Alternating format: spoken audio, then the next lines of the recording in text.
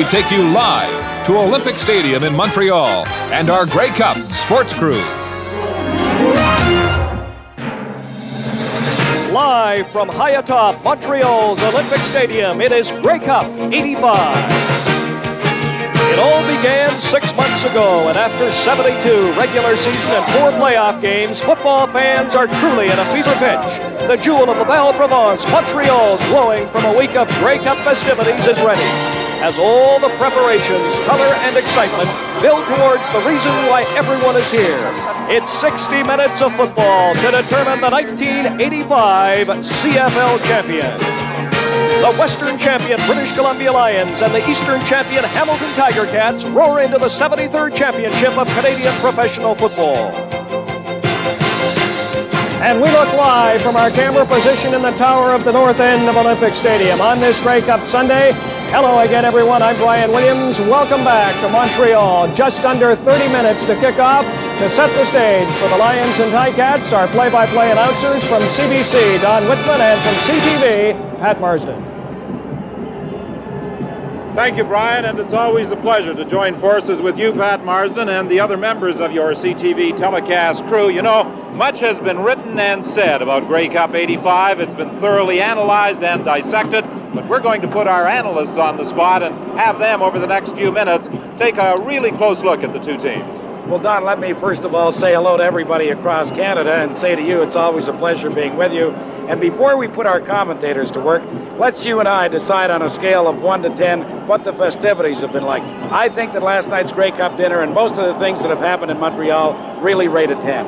I'd have to agree with you, Pat, although I haven't been quite as active as you have. well, we are now going to join two of the most knowledgeable people in Canada when it comes to analyzing quarterbacks, receivers, running backs. I'm talking about Leif Pettersen and Ronnie Lancaster. They're going to grade out all these people for you on a scale 1 to 10.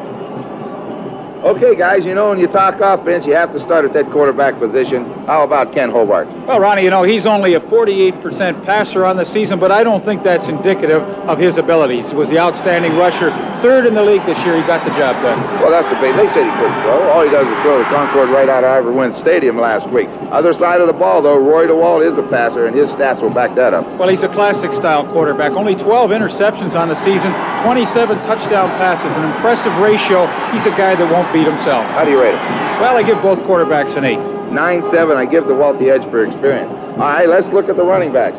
Johnny Shepard could be a key for Hamilton. Well, he really could. You know, in 1983, he was the Schenley outstanding rookie, but really, in the last couple of seasons, he's been an unknown quantity. Injuries have really bothered him, so I really don't know what to expect from him this afternoon. I know what the Ticats expect. They expect at least one big play. They feel they have to have a big play from Johnny Shepard today. He's a guy that can do it. The BC Lions with two running backs. John Henry White is the blocker, but Freddie Sims, third game this year, and what a year he had, or a game he had against the Bombers last week. Unbelievable. Yeah, I give Hamilton a six and BC an eight because of Freddie Sims. Well, I'm going to go 9 7, and again, because of John Henry White as a blocker.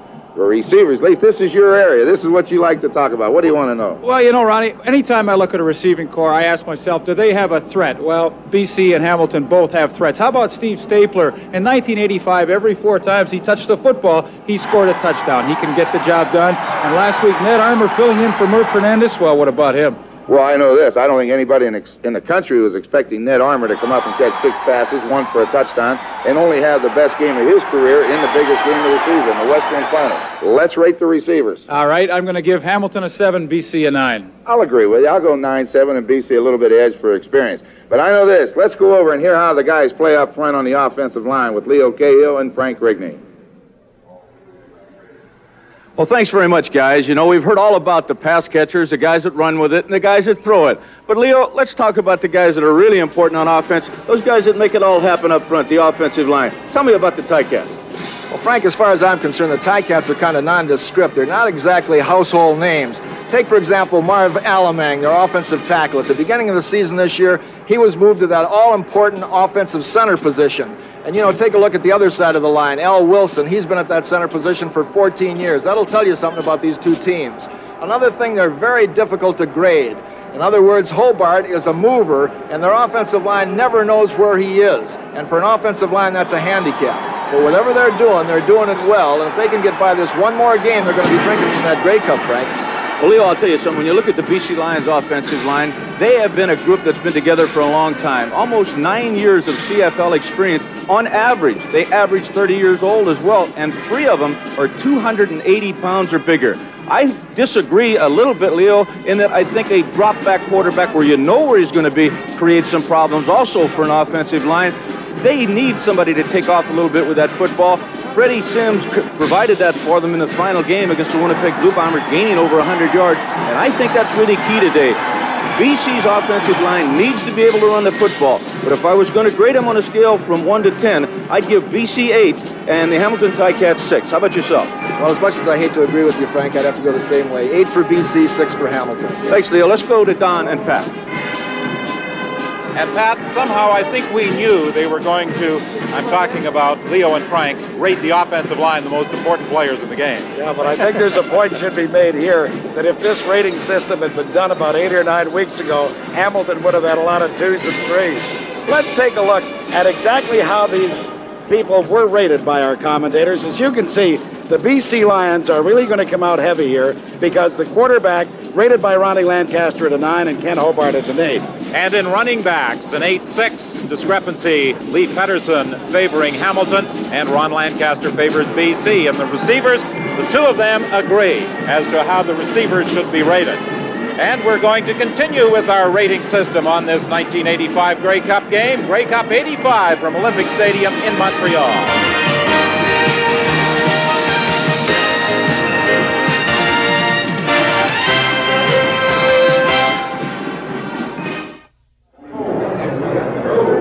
The second consecutive year for the Hamilton Tiger Cats in a Grey Cup game for the British Columbia Lions. It's been two years since they played in the Grey Cup game. But in the dressing room of the two teams, I'm sure some very anxious moments in these final minutes before the actual kickoff. I think that more people are anxious, more so than the players sitting in the stands. Let's go back to Ronnie and Leif. Well, thank you, gentlemen. Ron, there's no question that both the BC Lions and the Hamilton Tiger Cats definitely take different approaches to how they cover the passing game. Especially at the linebacker position. The BC Lions sometimes, they're always blitzing somebody, and they'll bring all of them at times.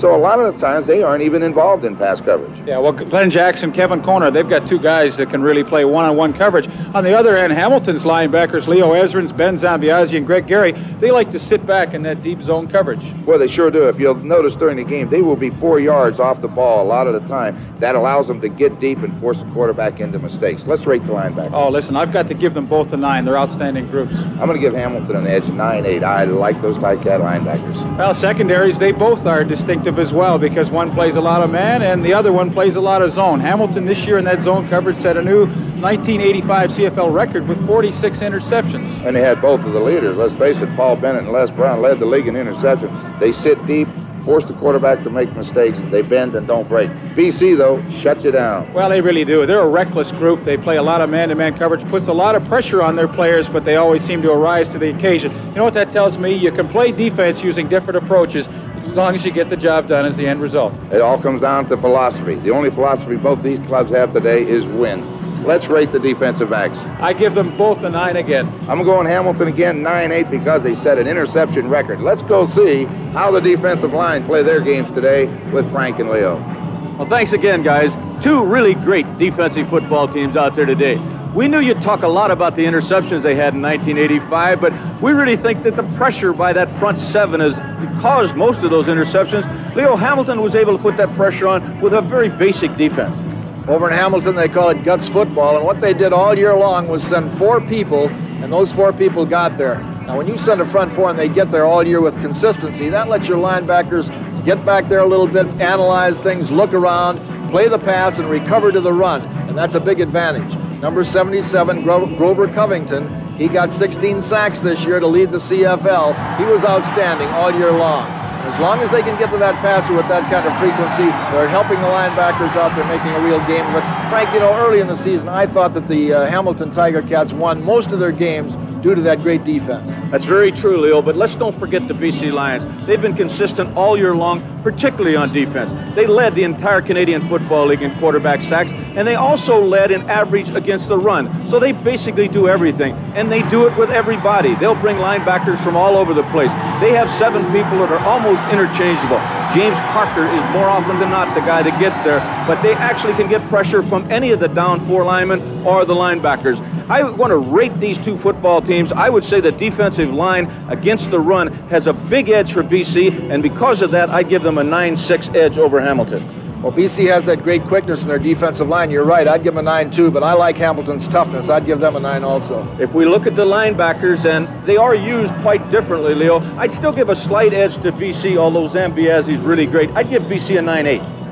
Well, I like Zambiasi too, and I think I'd give Hamilton the 8 and I'd give BC the 7. All right, let's talk about the last phase of the ball game that really hasn't been discussed at any great length. What about the kicking game? Any big edge? Well, Frank, I've never seen two better kickers. And they've won a lot of games for both teams this year also, so I'd have to give both kicking games a, a 9. All right, I think I'll agree with you, Leo, for the first oh, time. Oh, nice. But if we turn to the return game, I'm going to give the BC Lions a huge edge. Even though Paul Bennett has the career record returning punts, Darnell Clash can break open football games. I give BC a 10-5 edge. I'm not too sure it's not the best return team I've ever seen with BC. I'd have to give them a 10. I like Hamilton, but they got to be a 7. Great team speed. Let's go to Pat and Don. I'm now convinced these guys took too many hits in the head. I'll guarantee you that. All I know is the BC Lions won 13 games, lost only three. The other guys were 8 and 8. But anyway, let's take a look at these statistical stories. Well, uh, they rate the defensive backs fairly even. Same with the linebackers. Hamilton did have an outstanding defensive team this year.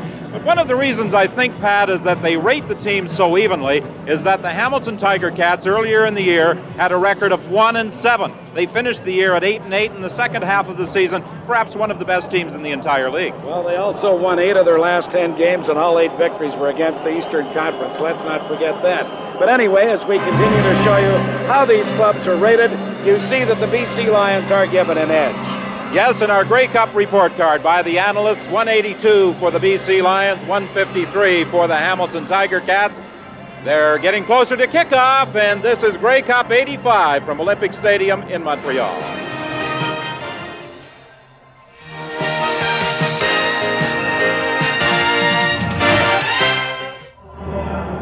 Welcome back to Montreal's Olympic Stadium. I'm Brian Williams. About 15 minutes to kick off. Uh, the BC Lions and the Ticats meeting for only the third time in Grey Cup history. While we have a minute, let's introduce you to today's game officials. I'm Jake Ireland from Jarvis, Ontario, and I'll be the referee for today's Grey Cup game. The other members of the officiating crew are Chuck Paul, umpire, head linesman Ken Lazaruk, line judge Art McAvoy, back judge Bob Bryan, field judge George Black, standby referee Lauren Woods, and standby official Bud Steen. The officials in charge of today's game, the players will be introduced in just a moment, and I'm sure as they stand down in those runways, Pat, they are very nervous as the public address announcer gets set to introduce them. Amateurs de football, football fans. Voici maintenant les joueurs partant à l'attaque pour les champions de l'Est. We're now introducing the starting offensive lineup of the Eastern Division champions, les Tiger Cats de Hamilton. Au centre, at le numéro 63, number 63, Marvin Alamang.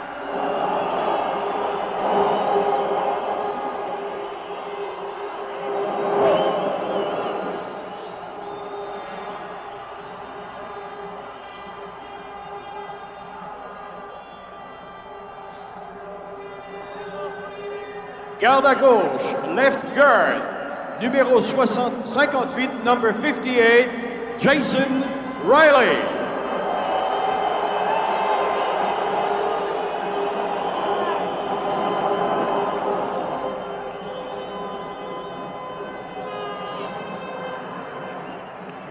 Le garde à droite, right guard, numéro 53, number 53, Jeff Hart.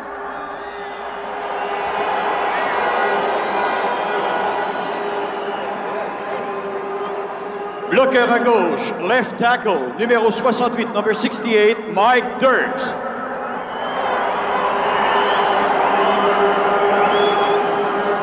Bloqueur à droite, right tackle, numéro 67, number 67, Ralph Scholes.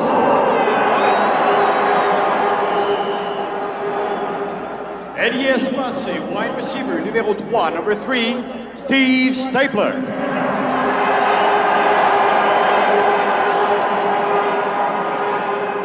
Eddie Espacé, wide receiver, numéro 75, number 75, Ron Ingram.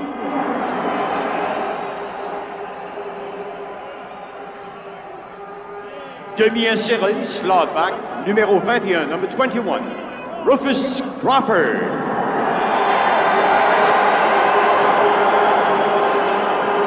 Demi-inséré, slot back, numéro 23, number 23, Rocky DiPietro. Demi, running back, numéro 19, number 19, Johnny Shepard.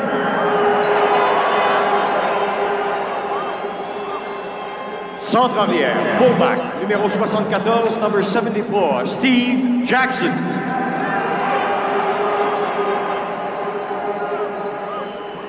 Et le quart, quarterback, numéro 4, number 4, Ken Hobart.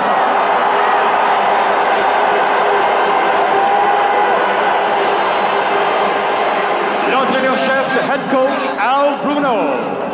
Ses adjoints, the assistant coaches, and the rest of the Hamilton Tiger Cats.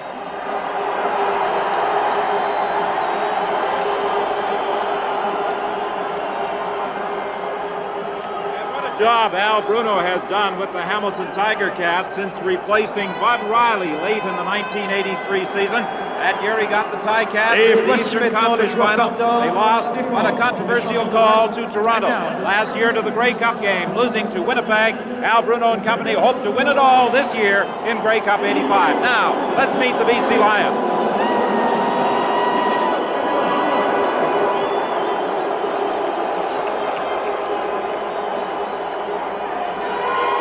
Placard à gauche, left tackle, numéro 90, number 90, Rick Klassen.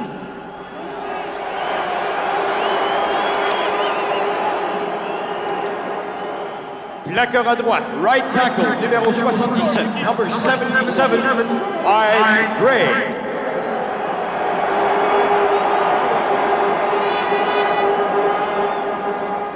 Ailier à droite, right hand, numéro 40, number 40, James Parker.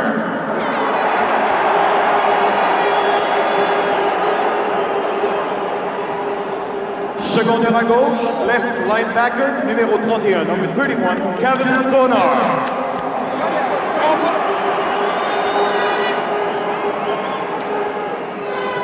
Secondaire intérieur, middle linebacker, numéro 91, number 91, Tyrone Crews.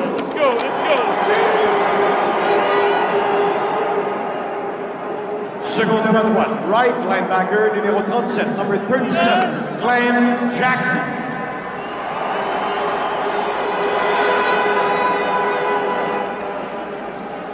Demi-point à gauche, left cornerback, numéro 1, number 1, Darnell Clash.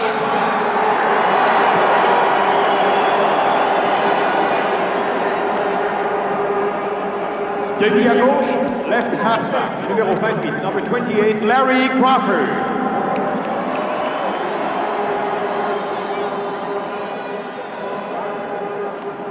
Maraudeur, safety, numéro 4, number 4, Nelson Martin.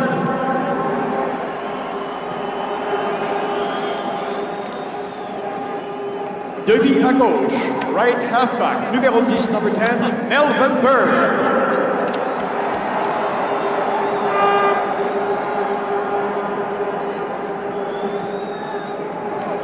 Demi de point à droite, right cornerback, numéro 18, number 18, Keith Gooch.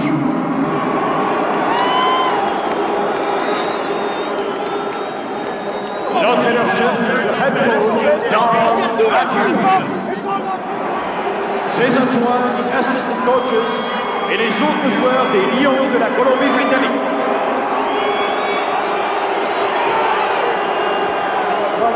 Question about it that Donnie Matthews, as the head coach of the BC Lions for three years, has done an outstanding job.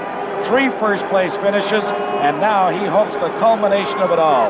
Let's go down and meet our sideline commentators, Steve Armitage and Bill Stevenson. well, let me tell you, Steve, we came dressed for the weather. I thought it was going to be Montreal-style weather for the Grey Cup. You're a typical Vancouverite. You thought it was going to rain, and you know something? You're not out of place at all. It's beautiful. Up until about 20 minutes ago, I had a great big fur on. I was sweating in that fur, so I went inside and put on my typical Vancouver overcoat. What it's a, a- beautiful day. It is. Steve and I will be covering the two benches. And you know, in covering the benches, they're as contrasting as the head coaches. Al Bruno is one of the most laid back head coaches in all of football. Now, your other fellow may be just a little tight. Don Matthews can be very testy at times, but he's very, very cool. All right, now let's go upstairs for the coin toss.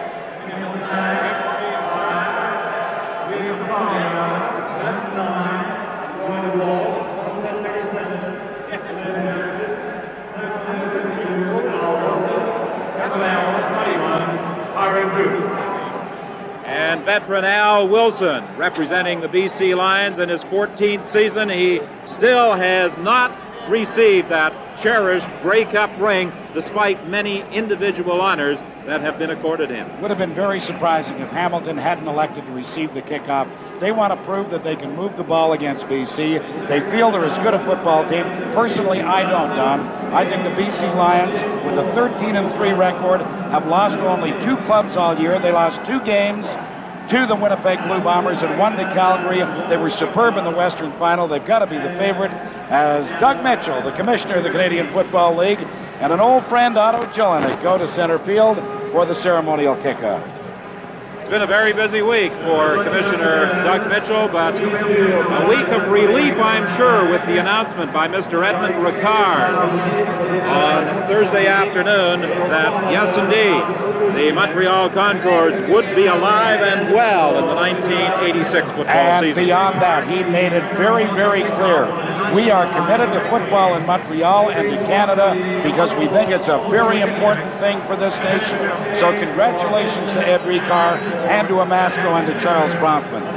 Not a bad job by the Honorable Otto Jelinek in kicking off the ceremonial kickoff down at midfield. And right now, I think the people and official party are moving into position for the playing of our national anthem.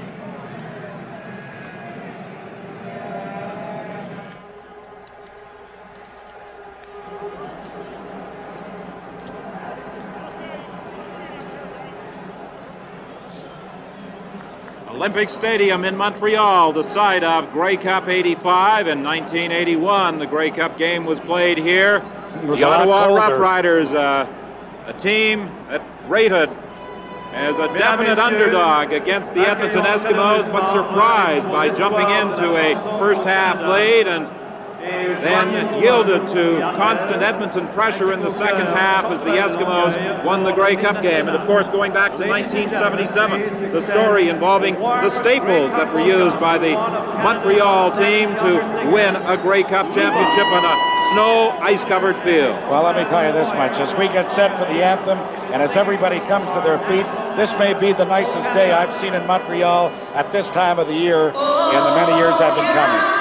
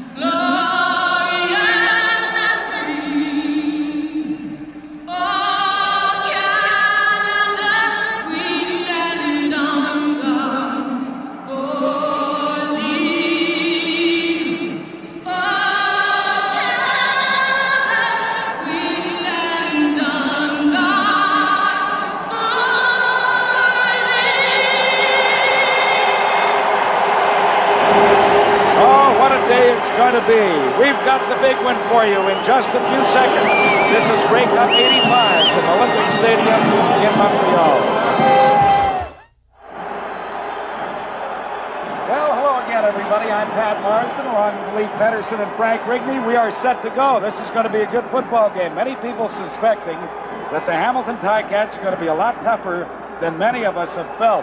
But let's not forget that the BC Lions are winners of 13 games this year, by far the best record in the CFL. And Lui Passaglia is all set to go. So are Howard Fields and Rufus Crawford. Roy DeWalt looks pretty cool on the sidelines as Passaglia will kick it out to Rufus Crawford at the 12. Crawford gets it up to about the 28-yard line. Bruce Barnett was there to bring him down. And so Ken Hobart, who plays more like a linebacker than a quarterback, but boy, has he been effective in the latter part of this season, comes out to lead the offense. Well, one thing he's going to do, Leif, he's going to make those defensive linemen keep their line, keep their areas covered when he does take off with that football. Big pressure by BC all year long, but they've got to be concerned about this man's running ability.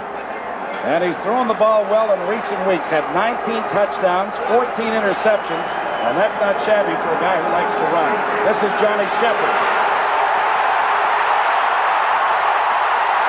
Shepard with a huge run to the 50-yard line, brought down by Darnell Clash finally. Well, Pat, you know, it was interesting. Ron Lancaster and I mentioned Johnny Shepard in the pregame show, and really an unknown quantity this year. He's been injured the last couple of seasons. Watch the cut he makes to get outside. Gets by Kevin Konar, the linebacker, then he's off and running. The pickup was 22 yards in his first down Hamilton. The ball at their 50. Hobart quickly for Rocky DiPietro, but the pass was underthrown. Tyrone Crews, the middle linebacker, had slid over to provide the coverage. A little bit surprising right off the bat, a 22-yard gain against the best defensive team against the rush in the CFL. Well, it sure is the way you like to start the football game. I'm sure Don Matthews on the sidelines there is concerned. He knows he's got a tough defense and relying, as you see, number nine, Nick Hebeler, for the big pass rush. BC Lions were number one in the CFL in sacks. They've got a sack situation right here on second and 10, and they get to the quarterback as Nick Hebeler and James Parker, numbers 99 and 40, were there to bring him down. Well, Pat, you know, I saw Nick Hebeler on a newscast last night, and he said that he was going to be working against Ralph Schultz, and he said he was going to eat him up this afternoon. Felt like he could have a great day. Initially, he and Parker meet for the sack. Right? I'll tell you, Leif, it looked like he was being held by Schultz's wall, but it didn't help at all. So after the loss, Bernie Ruoff in the punting unit comes in. Darnell Clash is the lone man back for the BC Lions. He awaits at his 15-yard line. Ruoff's kick, it's a beauty. He's got Clash hemmed in at the sidelines at the 19. And Darnell gets it over the 25 to about the 28-yard line, where Ed Gataveckas, the backup linebacker, number 39, is there to bring him down. But now we're going to take a look at the British Columbia Lions and Roy DeWalt, maybe the most forgotten quarterback in the CFL in 1985 because after all, he did throw 27 touchdown passes and only had 12 interceptions, and yet he's not an all-star. Yeah, I want to go on record right now and say that was a mistake. Leif, I don't know if you saw the balloting in its final stages. He finished third. Wow. Tommy Clements finished behind. He was the Dunnigan. best in the West. This is Sandusky screen to the wide receiver. Sandusky gets it up over the 35, very close to the first down marker at the 37. Donovan Rose, the cornerback, number 26 on that side, was there to bring him down. Pat, for the first time in history, the BC Lions had two receivers over a 1,000 yards this year. Jim Sandusky, of course, was the second one. Merv Fernandez, the outstanding player in this country, not playing today, of course, led the league. And let's also mention that Keyvan Jenkins, who was the number two rusher in all of Canada, is also out of that BC lineup. This is Freddie Sims. And Sims gets it to the 40-yard line for a pickup of just a couple as that front four of the Hamilton Ticats really uh, clamped down on him. Well, Frank, you mentioned how tough it is to run against BC. Hamilton also a very difficult team to run against. That time, number 77, Grover Covington, primarily known as a pass rusher, really made a great play to stop the draw. That'll be a great matchup. Big John Blain at 6'6", 280, trying to protect his quarterback against Covington. A couple of All-Stars getting at it this afternoon. It's second down and eight yards to go. BC from their 40. DeWalt with a lot of time. Now is flushed out of there. And he does not get it as Les Browne really gives him a good whack as he gets to the sidelines. And as a matter of fact, DeWalt was fortunate to pick up a yard or two at most.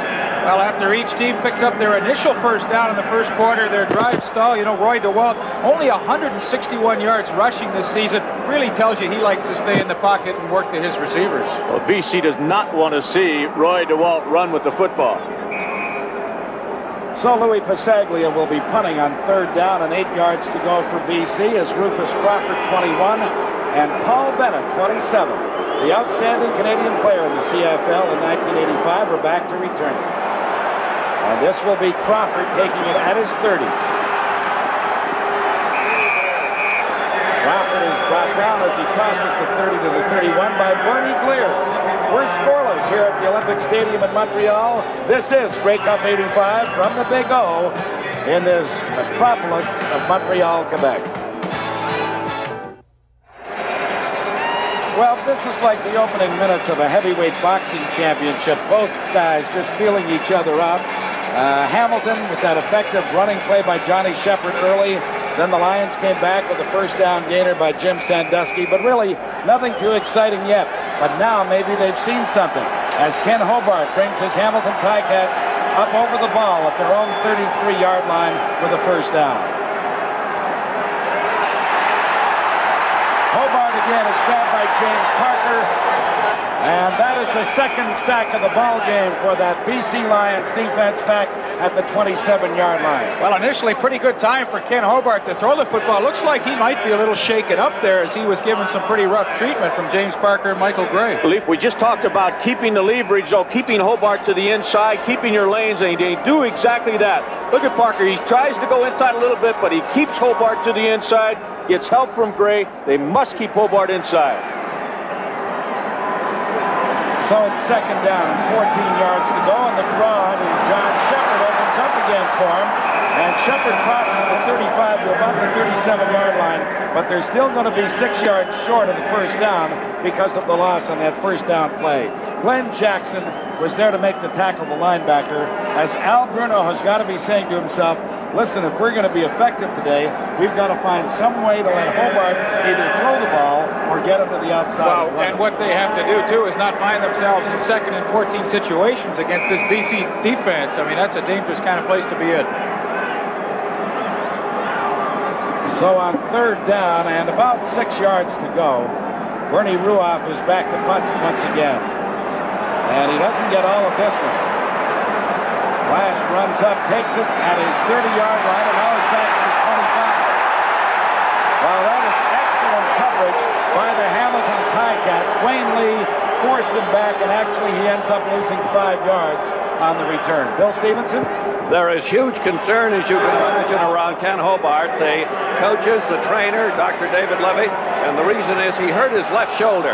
Not severe enough that it's going to keep him out of there, but anytime you get an added injury the way he runs, it has got to be a problem. Well, thank you, Bill, and everybody, of course, keeping their fingers crossed because Hobart is one of the keys to whatever success Hamilton may enjoy here this afternoon. Looking deep is Roy DeWalt, and the pass is caught by Ned Armour, who slips off Les Browne and goes all the way to the touchdown. This is the man who replaced Swerve Mervyn Fernandez last week in the Western Final, was an outstanding star of that game, and now look what he does today. Pat, what a great formation, the kind of formation the BC has used all year long to isolate Merv Fernandez one-on-one on the cornerback. They put four receivers on the right side of the field, and Armour was over there all by himself. You know, Frank, at six foot one, he's got a height advantage over Les Browne, and he just took that ball away from him. And great speed, Leif. That's one thing they do not lose by having Fernandez out of the lineup. Armour can outrun Fernandez, believe it or not. Oh, he's a track star. Flags are down. The point after by Lui Passaglia is good. But we'll wait for referee Jake Ireland to make his assessment here. It's offside against the Hamilton Ticats. The point by Passaglia is good, and the British Columbia Lions have really struck quickly here against the Hamilton Ticats. They've shocked them, and they lead it 7 0. This is Grey Cup 85 from Olympic Stadium in Montreal. You know, it's amazing. Three out of the four wide receivers in this ball game are from San Diego State, including that man, Ned Armour, who really provides us with the first huge play of the ball game.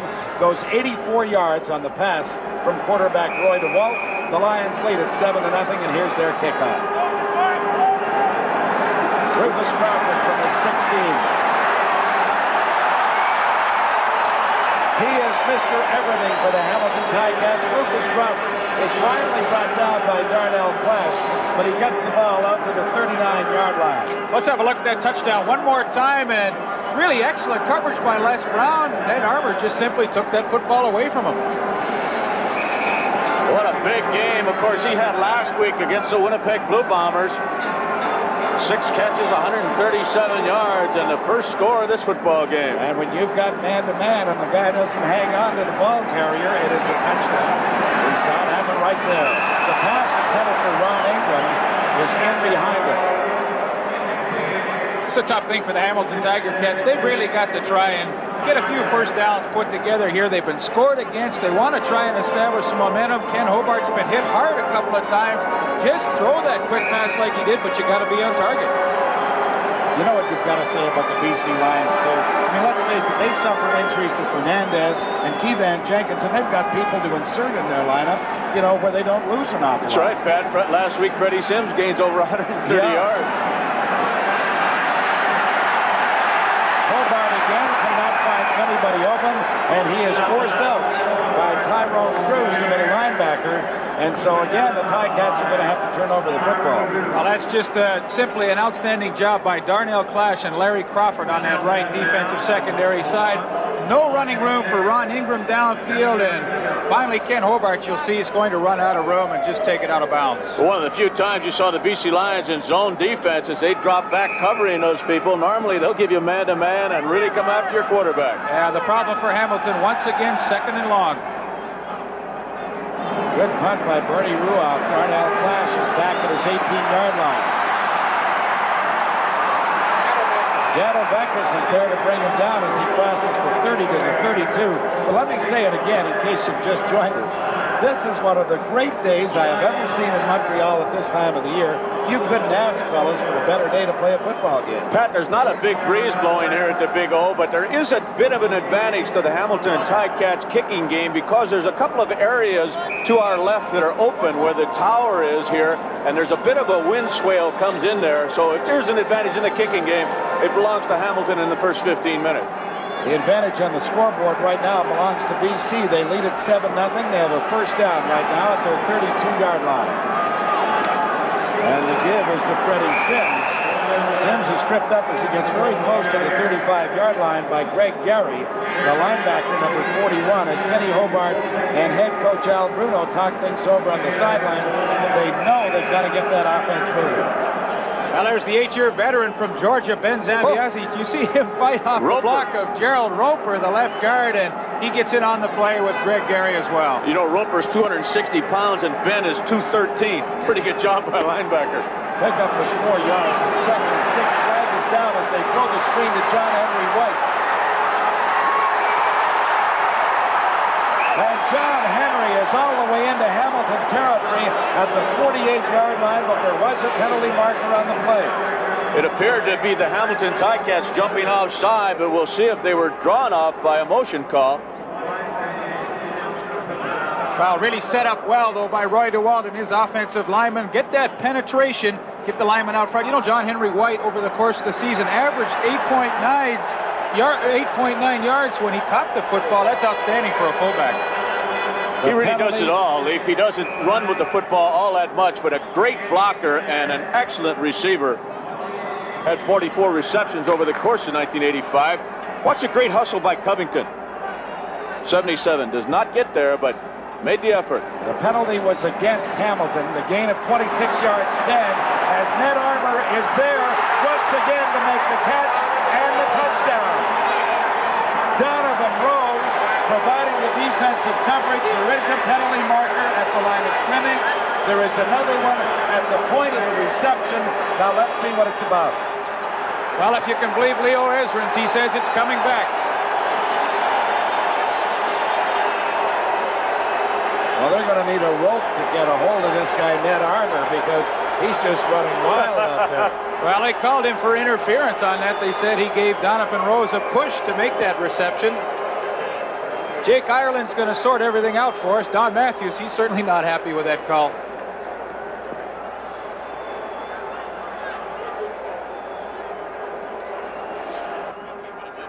Here's the call by referee Jake Ireland.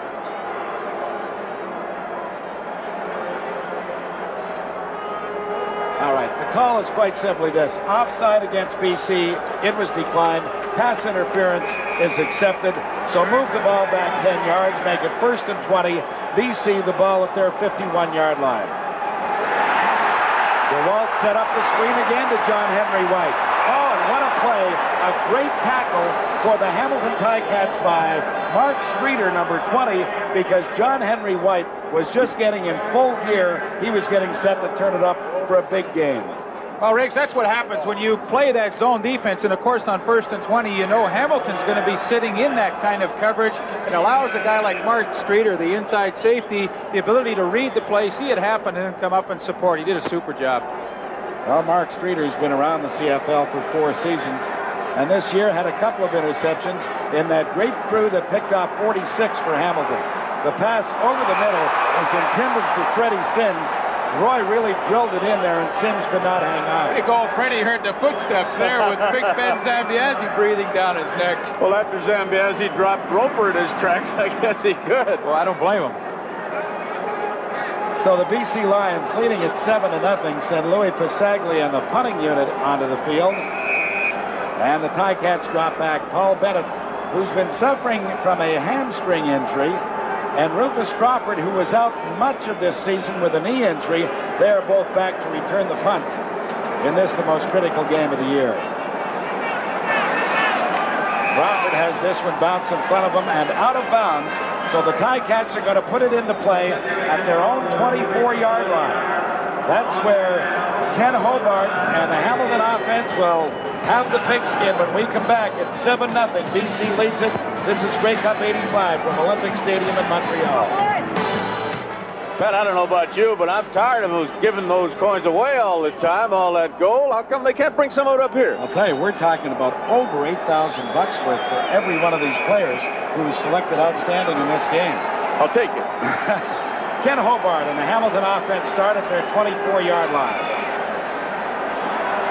And Hobart going deep, looking for Rufus Crawford, but the ball was over his head. Boy, there was coverage back there. We're talking about three guys, Nelson Martin, Larry Crawford, and Keith Gooch. There was no way he was going to get that one there. Riggs, you always worry about a young quarterback playing in his first Grey Cup game. I know Kenny Hobart's really been on a roll the last half of the season, but really in this first quarter, I think he's been kind of rattled. I think that pass rush got to him early, and that was a poorly thrown ball and not in the right area. You're right, Leif. He has to have a little patience, take off with the football, which has been his long suit all year long. Try to hit those little dump off patterns, maybe to Rocky, DiPietro. Get something started. It's second down and 10 with the ball at the Hamilton 24. Flag is down. And Hobart's pass was intended for Rocky DiPietro. Going to be holding. Glenn Jackson very nearly picked it off. But we'll see what the penalty marker is about. I'm sure it's holding, Pat, against the Ticats, and of course will be refused. Well, you know, it's tough. You work all week against a team that you think is going to blitz and play a lot of man-to-man. Now all of a sudden you find yourself in second and long. Hamilton Time. number 58. Decline. Third down. Well, that's Jason Riley, the left guard that got caught for holding, but second and 14, second and 10, second and 10. BC's just sitting back in his zone, and Hobart can't do a thing with it. And so right now, Bernie Ruoff is standing inside his 10-yard line to punt once again to Darnell Clash. And sooner or later, Clash is going to break one of these things. He's back at his 35. And he's out now over the 50 to the 51 yard line. And again, the BC Lions are going to have excellent field position. Rocky Pietro was down there to make the stop for the Ticats, but now it's really imperative that Hamilton be able to contain the Lions here because it looks to me as though Roy DeWalt and that offense is really starting to find itself. They had a touchdown call back. They already lead the ball game 7 to nothing with 5.24 left to play in this opening quarter. Ned Armour is keen to get out here. He wants to break that formation, but referee Jake Ireland says, we're not set yet, so let's go get him again. The only touchdown of the ball game, an 84-yard pass and run, Roy DeWalt to Ned Armour. And again, here's that wide receiver screen to Jim Sandusky. And Sandusky is into the Hamilton 45-yard line before Howard Fields brought him back. That's exactly what I was talking about. Roy really seems to know now that he can set these guys up. Well, great block by Ron Robinson, the big receiver to the outside. You see him number 16. He got Donovan Rose, just enough of a piece of him. A little Sandusky can move with that football. Yeah, but ball control with the passing game. Quick pass picks you up a first down. At the Hamilton 45-yard line. Now they do it to the other side, and Sandusky is there to make sure that he covers the ball because it obviously was a lateral pass as well, so they'll end up losing three yards on the play. Mark Streeter made sure he didn't get up and go. Donnie Matthews, the head coach for three years, two Grey Cup appearances. That's not bad, is it? Unbelievable record. He is so far ahead of every other active coach percentage-wise in the win-loss column. So on second and 13, DeWalt again with time throws. The pass is caught by Sandusky, but he's going to be a yard and a half short. Les Browne made sure that he did not get to the yard marker. And as a matter of fact, now they spotted at about the 38 and a half yard line, so he's going to be a full three yards. Pat, I just wanted to point out that the Hamilton Ticats are doing some deals in their line. They're only bringing those front four people, which we anticipated. They are crossing over, but they're not getting pressure against Roy DeWalt. That time they just came straight ahead. Normally they've been doing deals with a two defensive tackles, but no pressure on DeWalt so far. Well, Riggs, you and Leo Cahill talked about both offensive lines in your opening in the pregame, and you mentioned the experience of the BC Lions, and it really shows there. They did an excellent job in forming that pocket for Roy DeWalt. Well, I think Hamilton's going to have to bring some linebackers at least once in a while, maybe a halfback blitz, just to make Roy aware of it. Les Browne, who had that unfortunate happening of covering Ned Armour and then slipping off him to allow Armour to go the full distance for the touchdown, was shaken up on that previous play. He's out of the ball game as Lui Passaglia will try a 44 and a half yard field goal. And it is good. So add on three more for the British Columbia Lions. And they are out in front of the Hamilton Ticats 10-0 with 3 minutes and 46 seconds left to play in the opening quarter. And gentlemen, I am going to suggest this to you. Hamilton better get on track soon. Pat, I couldn't agree with you more, but that BC Lion defense is really attacking them, and that's, I think, what Leif and I were trying to say a little earlier. They've got to take a little bit at a time and try to, instead of trying to get it all at once.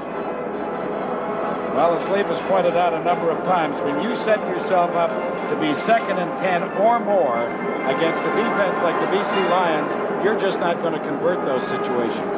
Now they start from their 35-yard line with a first down, and they give to Johnny Shepherd.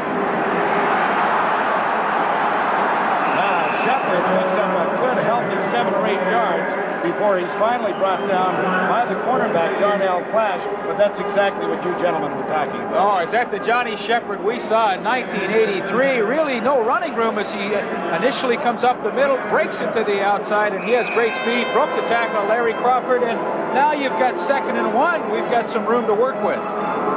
Johnny Shepherd, of course, two years ago was outstanding, but he was injured last year, injured much of this year.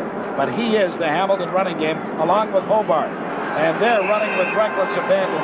Shepherd goes right over the middle and picks up a couple of yards for the first down. Well, what this does is open up so many other avenues for Ken Hobart now. If you can get some kind of running game established, he can go to play action passes on first down, the little dump offs, and try and get something established. Tie Cats have a first down. The ball at their 46-yard line. Trailing 10-0 late in the first quarter. The pass is complete to Stapler. And Stapler is grabbed by Darnell Clash at the 53-yard line. But again, the Ticats do something on first down, where now they set themselves up for a second and three. Pat, that's a good illustration of the difference in the defensive philosophy, though. Three linebackers coming, four defensive linemen for the BC line, and man-to-man coverage, obviously. Clash having to back off and give the receiver a little room. Second down, three yards to go, Hamilton. Hobart's pass is caught by Stapler. Again, another first down for the Ticats. The ball is at the BC 51-yard line. All right, now they're starting to pick it a little bit. I think Darnell Clash watched the game film from their game against the Montreal Concordes last week when Steve Stapler did catch three touchdowns, some long bombs. He's really respecting his speed, giving him lots of room, but I'm glad to see Ken Hobart recognizing that. So for the first time in this first quarter, the Ticats are in British Columbia territory with a first down at the Lions 51. Hobart quickly over the middle for Rufus Crawford, and Rufus was not able to hang on. Well, nevertheless, a good call by Hobart. Try to split the seam. There's the Prime Minister of Canada, Brian Mulroney. Nice to have the PM here in Montreal. He couldn't have picked a nicer day. Didn't get much of a reaction from the crowd, though, when his picture went up on the stadium.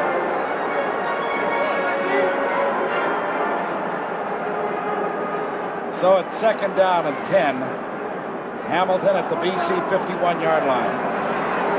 Hobart down the middle, way over the head of the intended receiver, Roger DiPietro. Larry Crawford went high, hoping to spear it himself, but it was well overthrown. James Parker put some pressure on Ken Hobart, and that obviously had something to do with the errant pass. That they do give a young quarterback an awful lot to think about. That time they played the Hamilton type of defense, just bringing the front four and laying everybody back off there now. But if nothing else, Hamilton has established some field position. That's here. right. They picked up two very important first downs there. Good punt by Bernie Ruoff has Clash at his six-yard line. And he only gets to the 10, so that was an important series for the Hamilton offense. Then a good punt by Bernie Ruoff. Ed Gataveckas, who has been down all day on that special team unit for the Hamilton Ticats, was there once again to make the tackle. And now for the first time, BC is going to be hemmed in their own end with just 44 seconds left to play in this opening quarter. There's no secret. Bernie Ruoff, when he's punting that football, angling it towards the sidelines to let his tacklers get down and have a good angle. Ed Gataveckas, you saw on the sideline, number 39, second time he's made the play here in the first quarter. A man that many of us thought would be a factor in this ball game, John Pankratz, still hasn't caught a football.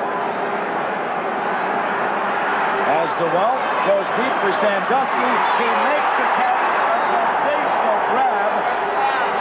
And again, was the cornerback on the play. He cannot believe it as Sandusky makes an unbelievable grab. Oh, watch the move. Initially he gets outside. Les Browne really kind of relaxing. I don't think he thinks the ball's coming to Sandusky, but Roy DeWalt puts it in the perfect spot. When you're throwing deep, throw it towards the sidelines where the corner can't make the play. Not a bad catch either. Well, that's the way to get out of your own zone in a hurry, isn't it? A 37-yard pickup. DeWalt throws for Ned Arnold this time, but the pass was nowhere near him. Well, you talk about getting out of trouble in a hurry. It's the way to do it. 37 yards on the one play, and so with just four seconds left. Pat Sandusky made a catch like that. In fact, a little better than that during a regular season game that we telecast. It was almost unbelievable. We ran it back about seven or eight times, and we were still in awe. Well, Frank, that was in Winnipeg, and working against David Shaw, he made a one-hander. So let's see what Roy DeWalt elects to do on the final play of the first quarter. He throws. It is complete to the man we referred to, John Pankratz. Pankratz has the first down in Hamilton territory at the 48-yard line before being brought down by Mark Streeter as the first quarter comes to an end. And it's been a good one for the BC Lions. They lead it 10-0. This is Grey Cup 80. Boy, you don't think those BC Lions were really, really forceful in that first quarter? 203 yards to 43 for Hamilton. Of course, they had some big plays, too. One for 84 yards, one for 37. Yeah, 121 yards on two pass receptions, two big plays. And now they're back in Hamilton territory at the Ticat 48-yard line with the first down. Go on, fires. Ronnie Robinson slipped as he was getting set to make the catch. First time he's gone to Robinson, and now DeWalt obviously going to spread it around a little bit. As we take a look at the Honorable Brian Peckford, the Premier of Newfoundland, here enjoying the ball game, along with the Prime Minister Brian Mulroney, and a lot of other dignitaries here with a really big crowd at the Olympic Stadium. Assuming that the stadium now holds 54, 55,000, I've got to think that we've got in excess of 50. DeWalt fires over the middle, incomplete. The intended receiver was John Henry White.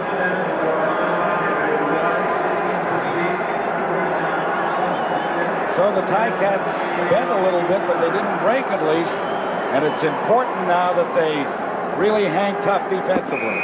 Well, that's their theory on defense is bend, don't break. They play a lot of zone that time. They forced Roy DeWalt to go underneath those linebackers, and even if he had hang, hung on to the football, he would not have picked up a first down. Pat Lui hasn't kicked for as good an average this year, but they've asked him to kick it away from the receivers quite often. I think he's trying to do that again. He did it well, and Rufus Crawford picks it up at his 10, but because the cover team was able to get down, uh, he only picks up three yards. So now it is really going to be tough on the young Hamilton quarterback.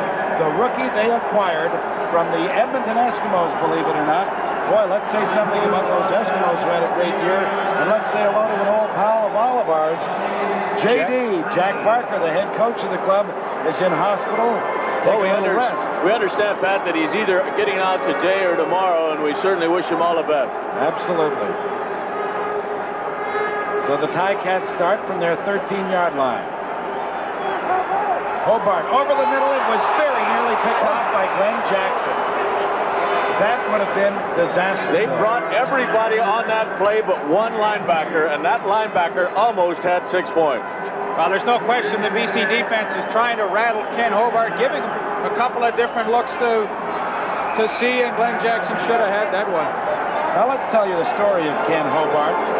He played for a couple of teams in the USFL, Denver and Jacksonville. He was a great player at the University of Idaho, but he was signed by the Edmonton Eskimos, who then sent him to Hamilton. Hobart throws down the middle, off Rocky DiPietro's outstretched hands. And Hobart, who had an outstanding game last Sunday against the Montreal Concordes, has not been effective here in the early moments of this football game.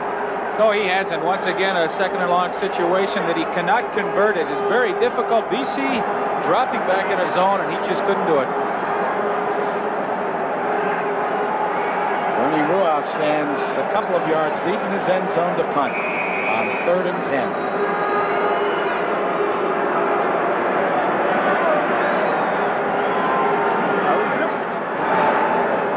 Hangs it high. It's a good punt. Clash is at his 50-yard line. Up on his head when Wayne Lee was there to bring him down at the 48-yard line. But the Lions lead at 10 0 This is Grey Cup 85 from Olympic Stadium in Montreal. Oh. Well, let's say hello to two good friends of Canadian football. Rod McInnes, the president of Carling O'Keefe, and Jeff Oliver, the general manager of Kodak Canada, among the many dignitaries here at Olympic Stadium.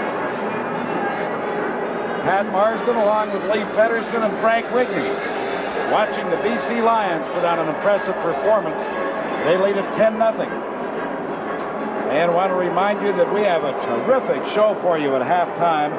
It's called Discover the Stars, and you will, I know, enjoy it. You'll also see first half analysis with all of our expert commentators and the statistical story of that first half. DeWalt fakes that screen that he's been so effective with, fires it down the middle. It's complete to the 15-yard line to John Pankratz.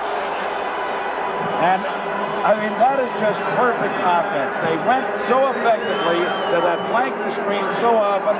They faked it this time, just went right down the middle to Pankratz. Yeah, and what they do too with Pankratz is they fake him coming out on the block, and everything just opens up like the Red Sea. Here you're going to have a great look at it. Watch the Hamilton defenders race up. That frees Pankratz down the middle, and they just can't get over to make the play in time. First down to the end zone. Boy, I'll tell you, did he take a chance looking for Pankratz again. But there was just great coverage by Mark Streeter, who went high in the air, tried to one-hand it. Unfortunately for him and the Ticats, weren't able to do so. I thought Roy was trying to throw it away, but Streeter almost made a tremendous interception. So it'll bring up a second down for the Lions. The ball at the Hamilton 15. Ticats desperately need a big play defensively right now.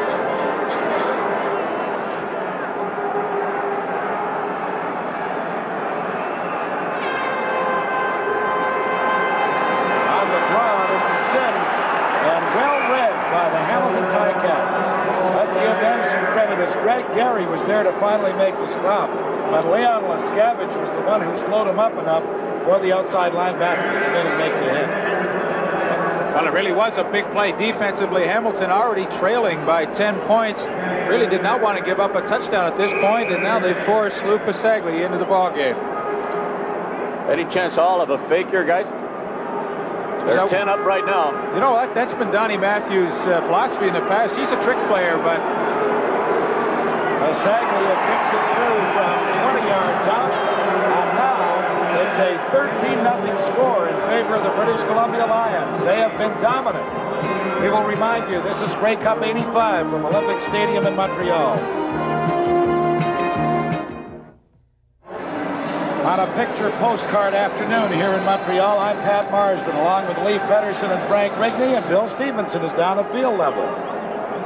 I'm down at field level, level as a matter of fact. And the thing I'd like to know, though, is what's happening out there defensively, Paul Bennett. Uh, obviously, we're trying to stop a very powerful offensive football team, and they're moving the ball pretty well at will right now. Uh, we're having a tough time, though, because they're, they're starting with such good field position, but they've scored once and pretty much a lucky one, a great catch by, I believe it was Armour. I thought Les Browne would, you know, was going to pull it away from him. Lucky break, but they've been, you know, Lui Passaglia is in, in field position to hit, and he's not going to miss too often.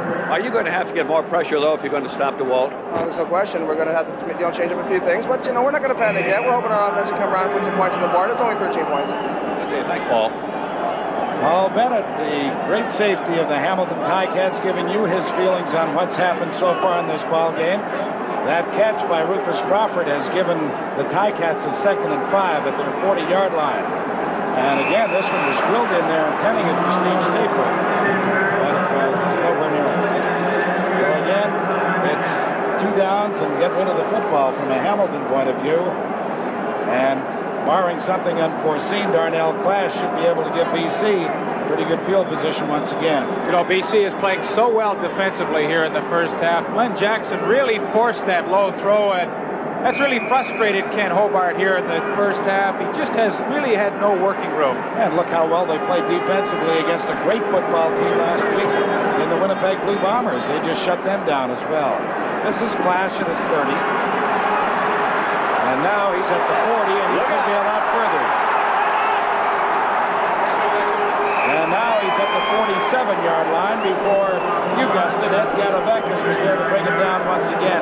But Darnell Clash is so elusive that if he ever gets to the outside, you can forget it. He'll be in the end zone. Of course, he set a record this year for the entire Canadian Football League in punt returns, 1,148 yards. Also had nine interceptions from that cornerback spot, an exciting little football player. And you know what he does? He excites the guys that are working on that return team with him. They just try that much harder to get a block when they know how hard he runs with that football. So again, the Lions start in great field position at their own 45. This is Freddie Sims on the draw. The ball. comes loose, and the Ticats have it. They needed a big play defensively. They get it right now at the 49-yard line. Rod Skillman was there to strip him of the football. And Grover Covington was there to recover it. And what a year Grover's had. Ah, what a great game he had last week in their big win over Montreal, but the big break that maybe the Hamilton Ticats needed. Ball comes loose. There's 77 to pounce on it. Don't hurt that football, Grover.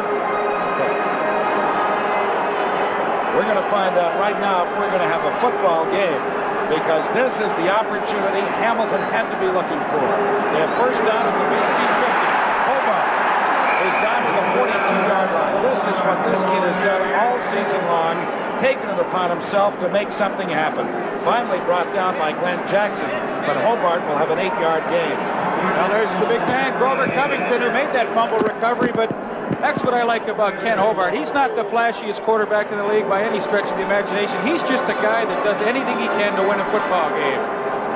Nine and a half minutes left to play in this second quarter. It's a 13 nothing advantage for BC as Johnny Shepherd was hit at the 40-yard line, and he's going to be about a half yard short, I would suggest.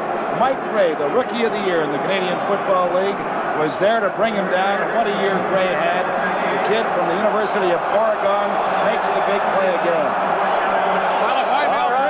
Take a chance right here. They're going Gotta go to. His offensive team has said, Coach, we can do it, and he has waved off his punting team.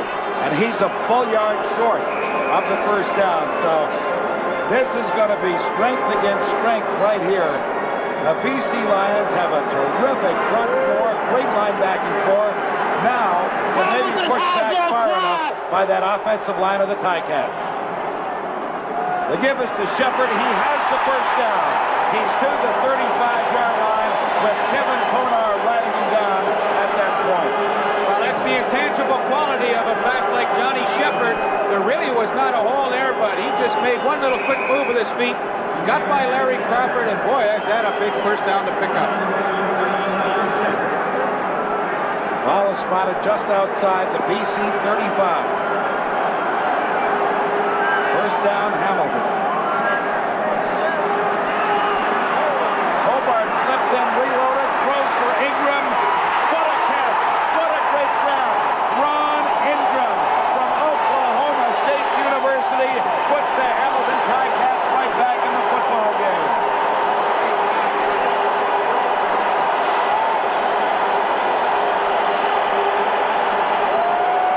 It was unbelievable.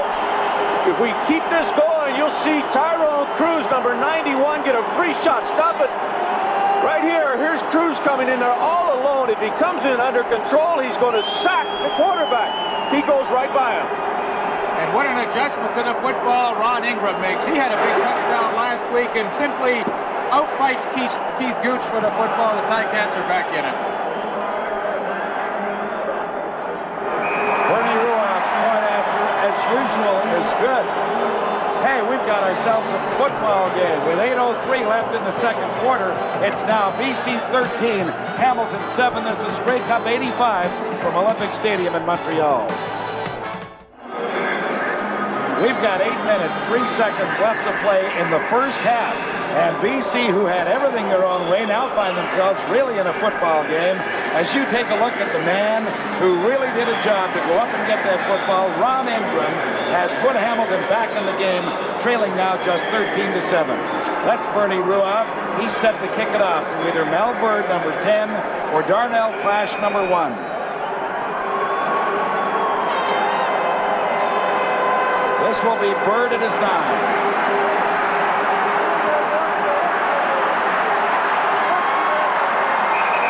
And Byrd with a good return is out to the 39-yard line. And Donovan Rose was there to bring him down as we go to Bill Stevenson. Ron Ingram, who was certainly the man of the hour. Ron, was that pass play exactly the way it was supposed to go? What was called? Yeah, it was. It was 89 wide while running takeoff. I knew we could do it. Uh, Gooch was squatting on me. And I went back to the huddle huddle and told Ken, let's let me run it up. And he threw it out there. And I was fortunate enough to come up with the grab. Well, I tell you, he seemed to be covering you very tight. Well, not really. We just have to execute. We execute, I think we can win it. This is Freddie Sims with the handout. It's over the 40 to the 42. Rod Skillman was there to cut him down, but Hamilton seems to be getting now just a little tighter defensively. Pat, it was interesting to see Roy DeWalt give Freddie, the, Freddie Sims a football right back because the first game he played for the BC Lions, he fumbled three times in that ball game. So it's second down, eight yards to go.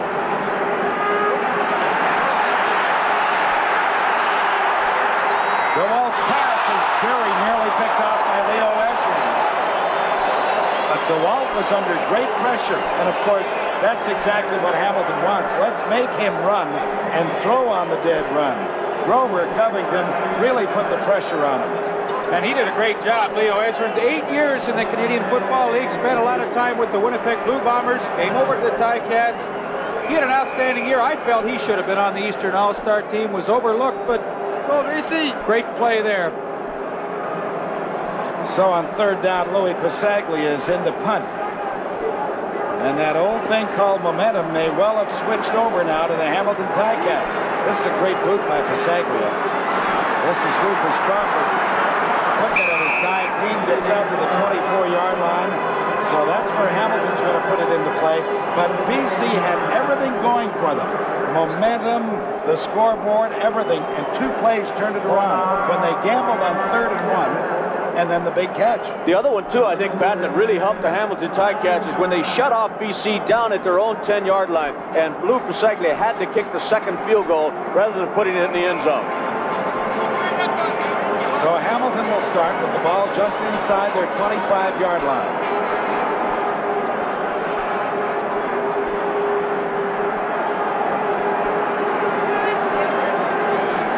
Hobart over the middle, no good. He was looking for Rocky DiPietro. Rocky never did get to it. There was a lot of pressure on the Hamilton quarterback. You know, fellas, if you look back at the statistics of 1985, you will not find the Hamilton Ticats very high offensively, but what they did extremely well was take advantage of those turnovers the defense provided them with. And that time, of course, a fumble recovery by Grover Covington led to that touchdown by Ron Ingram. Leif, just to make your point, they had 288 yards on average offense, eighth best in the CFL. BC averaged over 100 yards more than they did during the season. Hobart, he was going deep looking for Rufus Crawford or Ron Ingram. And now Ingram has something to say to Keith Gooch. And we'll keep an eye on those two because that's going to be interesting from here. If I was Gooch, I wouldn't be saying much of anything. He just gave up six. But Hamilton is going to have to get rid of the football once again with six minutes and seven seconds left to play in this second quarter.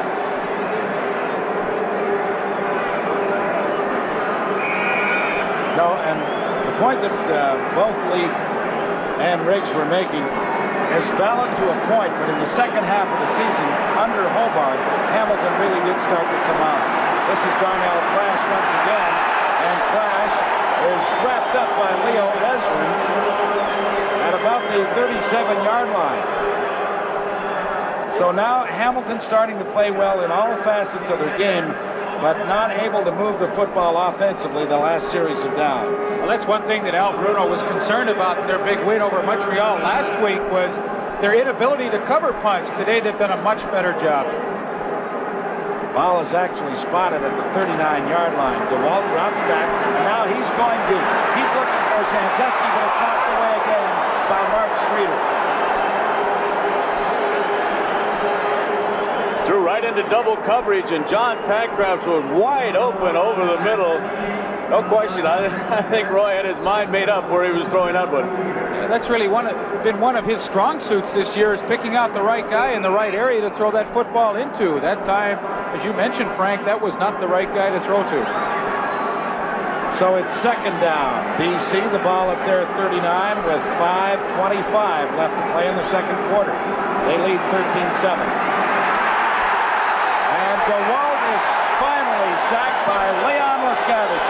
First sack of the ball game for that front four of the Ticats who have been so effective laterally. The nine-year veteran from the University of Alberta, Leon Lescavage, two big sacks last week in the Eastern Final, and finally they are able to get some pressure on Roy and come up with a sack. That defensive line of the Ticats, which has been so impressive of late, Average is 258 pounds apiece. They stand six foot three. Lescavage, just about that size, only a little taller at 6'4", 255. Well, they're the major reason that those defensive backs were able to set that interception record this year. Crawford is back to his 27th and slips down.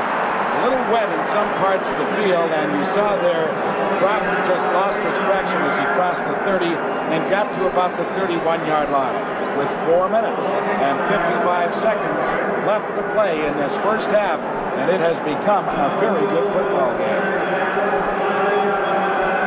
Despite the fact that Ken Hobart does not have very impressive statistics, the Ticats are right in it. The only one they really care about, Pat, we all know that. They're only six points down.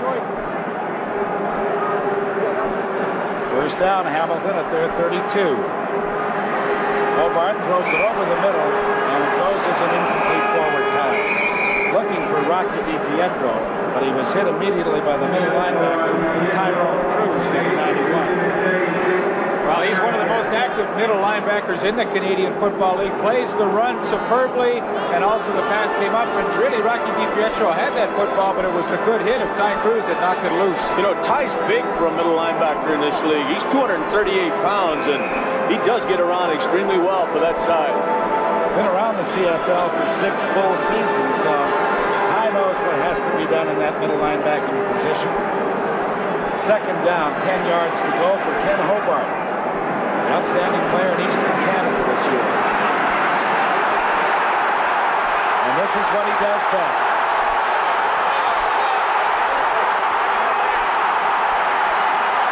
Hobart is inside the 20 to the 18. Rufus Crawford threw the big block that allowed him to get all the way down there. What a run by Ken Hobart.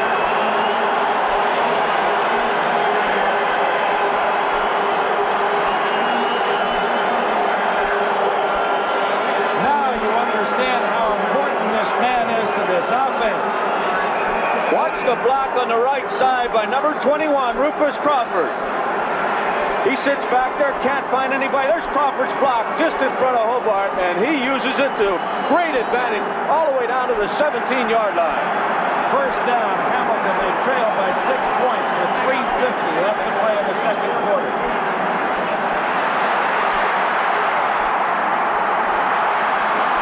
And Hobart, with a good bit of scrambling and some effective work, is finally brought down by Glenn Jackson, but he's inside the 15 at about the 13-yard line. I'll tell you, it's only because of his great running ability. He didn't lose about seven or eight yards with James Parker, the quick one, right in there. Watch number 40. Now, it really shows you why he finished third in the Canadian Football League in rushing this year. Seems to have eyes in the back of his head, but could not get around the 10-year veteran Glenn Jackson.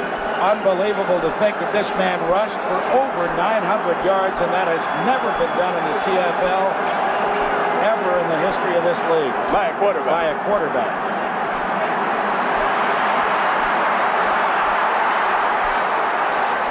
The pass was underthrown. There's a penalty marker down on the field. Hobart was scrambling around so much, he just didn't have time to get set up.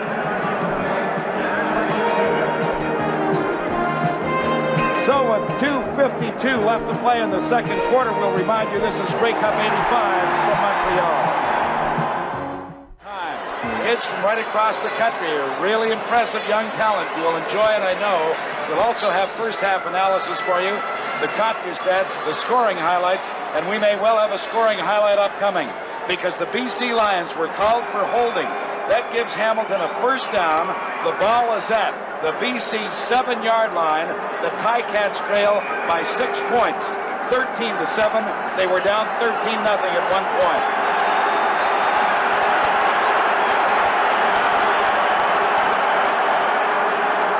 Hobart, quarterback draw. He's down to the two yard line. A very good thing for BC that Tyrone Crews was able to wrap him up because the big fella, Ken Hobart, who is built like a linebacker, as I suggested to you before, is down to the two-yard line. That's an excellent call down the goal line with Ken Hobart. Spreads the receivers completely across the field, and he knows the blitz is coming, and if he just gets a little seam, he can get into the end zone. Ty Crews made a great play. So they put that goal line unit in there right now with second down. The ball is at the BC two-yard line. And they give it to Shepherd, but he does not get in. Tyrone Crews, the middle linebacker, again was there to make the hit. Decision time for Al Bruno. Ooh, yeah, I don't know. I, I gotta go for it. I think you got to go Oh, for yeah. it. BC winds up with the football at the one yard line if you miss, and that's exactly what Al said. Let's go. He was successful on the third one and a half gamble before. What he did last time was hand the ball off to Johnny Shepherd. Shepherd saw that it was closed off inside, and he just squirted to the outside and picked up the first down. Let's see what happens now. Third and goal to go from the one. Shepherd over the top, touchdown, Hamilton.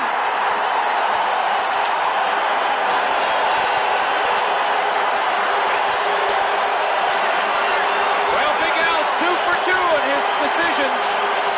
You know, Pat, they put number 51, Pat Brady, the backup center in the backfield. He the way, and it's Johnny Shepherd up and over for Hamilton's second touchdown here in the first half. So what was a 13 to nothing ball game in favor of the BC Lions is now 13-13 with the point after by Bernie Ruoff to come. Ruoff has not missed an extra point this year. We've got an injured BC Lion. I believe it is Mike Gray, number 77 it is, the defensive tackle, shaken up on the play. There's the young Pat Brady that we were talking about who came in to lead Johnny Shepherd into that goal area. And there's Mike Gray. Pat, you know, we talked before this ball game that, and I think most of us agreed that if the Hamilton Ticats were going to win this football game, Ken Hobart was probably going to be the outstanding player because he was going to have to have a big football game. Well, what a great effort he made on that drive. 61 yards on one play, and then a first down after the holding call against BC. That quarterback draw set up the major score. Well, there's no doubt that uh, he has been a factor, despite the fact that I'm sure when we look at halftime at his passing stats, people will say, hey, what's going on? But he was only a 48% passer anyway all season. Well, that's usually the defensive plan when you play against a guy like Hobart. Make him beat you with his passing, not with his running, but so far in the first half, he's really run the football well. Now watch the lead block coming, and Steve Jackson goes in motion. The lead block by 51, Pat Brady, and Johnny Shepherd up and over the top. No way they're going to stop him. So Benny Jones, who goes at 6'3", 245 pounds, will replace Mike Gray at the defensive tackle spot. And Bernie Ruoff will try to give the Hamilton Ticats the lead for the first time in the ball game, and he does. With two left to play in the second quarter, let's go to Bill Stevenson. The man of the hour is Ken Hobart. Ken, you seem to want to start running a little more on that drive. Is that correct? Did you change your strategy? Well, they're, they're playing pretty good pass defense, Bill, and I hurt my shoulder in the first quarter. Pulled something there, so we're going to go with what last year, and we're going to use my legs a little more. You say you hurt your shoulder, but it's not your passing arm, Well, is it's, it? it's in between, right? It's in the middle of my chest, kind of, but it affects my right, affects my right shoulder, so it's all right. But uh, we're gonna try and start running the ball a little more, try and use Johnny and myself, keep the ball on the ground, and get uh, ball control type offense going. Well, let's give him all the credit in the world. And how about that man, head coach Al Bruno? He's made all the right moves so far in this first half. His ball club is now in front, 14 to 13, as Bernie Ruoff will prepare to kick it deep to either Darnell Clash number one or Mel Byrd number 10. You know, Pat, when you come into a game as an underdog in a game of this importance, I think you have to be a bit of a gambler, and so far it's paid off for Al Bruno. This is Glenn Leonard, and Leonard is able to get the ball up over the 35 to the 38-yard line. Now there's a minute 56 left to play in this second quarter. There's all kinds of time for the BC Lions, but this may well be a telltale time of this football game. How is Roy DeWalt going to react to finding himself for the first time trailing? I'll tell you, if I was Hamilton right now, Pat, I'd go after him. I'd come out with a blitz and try to put real pressure on him. Lions start at their 37-yard line. DeWalt to Sandusky, just a little bit off the mark. That pass was Leonard perfect the first three or four times. This time, just slightly off the mark. Well, listen, the defensive guys are no fools either. They've seen that play three times now in the first half. They're going to react to it a little quicker. But I know one thing. Roy DeWalt wants to win at halftime with the lead. He doesn't want to be trailing. Well, he's going to have to pick up a sizable gain right now if that's his intent, because with 153 left, he finds himself with a second and 10 from his own 37. And he's dropped by Grover Covington. If this is your first opportunity of seeing this man play football, Grover Covington led the Canadian Football League with 16 sacks this year. He has simply been outstanding in all phases of his defensive end position. Pat, once again, though, they bring only the front four people, and they're getting that pressure with just their defensive line. Watch now as number 77 picks up yet another sack. When he hasn't sacked him, he's still been pressuring him. And Leif, I think that's the key to the, what they've done defensively. Not that many sacks, only two. Let's go back to live action. Well, this is Lui Passaglia didn't get the punt away, and as a result, he ends up with a big first down for the BC Lions. Mitchell Price was the man who would have been there to block the punt, but he ran right by him, and Passaglia, the great veteran that he is, just scampered outside. Well, I'm sure that was not a design play. He just felt like Mitchell Price could have blocked the punt, but, you know, Lui was a quarterback at Simon Fraser. He's got that intangible quality to run with the football, and what a big play this could turn out to be. A minute 28 left to play in the second quarter. A one-point lead for Hamilton. The ball is at the BC 50-yard line. First down Lions. They take the draw, and now they go deep. Looking for Ned Armour. Another touchdown. Another huge play by the Lions.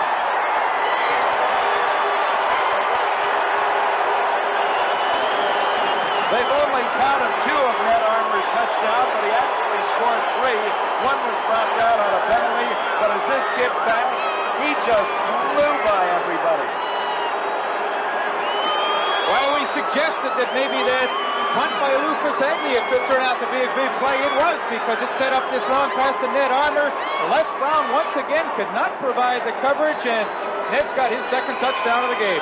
This is the man that replaced Mervin Fernandez. Mervin who? could not start. Mervin who? Boy, oh boy, what an electrifying play that was. The point after by Passaglia is good. And the Lions are back in front now, 20 to 14. There is Ned Armour from San Diego State. Seems everybody's from San Diego State today. His opposite number on the other side, Jim Sandusky, also from State, and Steve Stapler for Hamilton from San Diego State. But this is the man of the hour. He has two touchdown passes, compliments of Roy DeWalt. Pat, you suggested when the Hamilton Ticats scored with two minutes remaining that BC still had time. It took them 40 seconds. Let's go to Steve Armitage.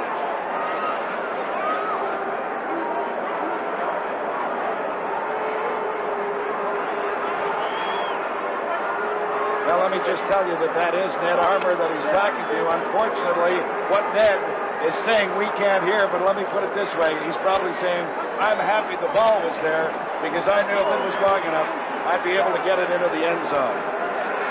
Well, you know, Hamilton plays his own defense so you can't get beat deep. Ned Armour's done it twice now. Rufus Crawford from his eight-yard line. And Rufus gets it on over the 25 to the 26. Can Ken Hobart engineer some more magic? A minute 15 left to play in this first half. How have you enjoyed it so far? It's been a great first half of football. Exciting. I like the way Hamilton came back and boy, great cups are like that. I remember in 1976, the punting game, Gerry Organ ran for a big first down to give his team a lift. Now Luke Passaglia has done that for the BC Lions. And Riggs will remember a few great Cups that were fairly exciting between Winnipeg and Hamilton as well. Hobart gives it off to Johnny Shepherd.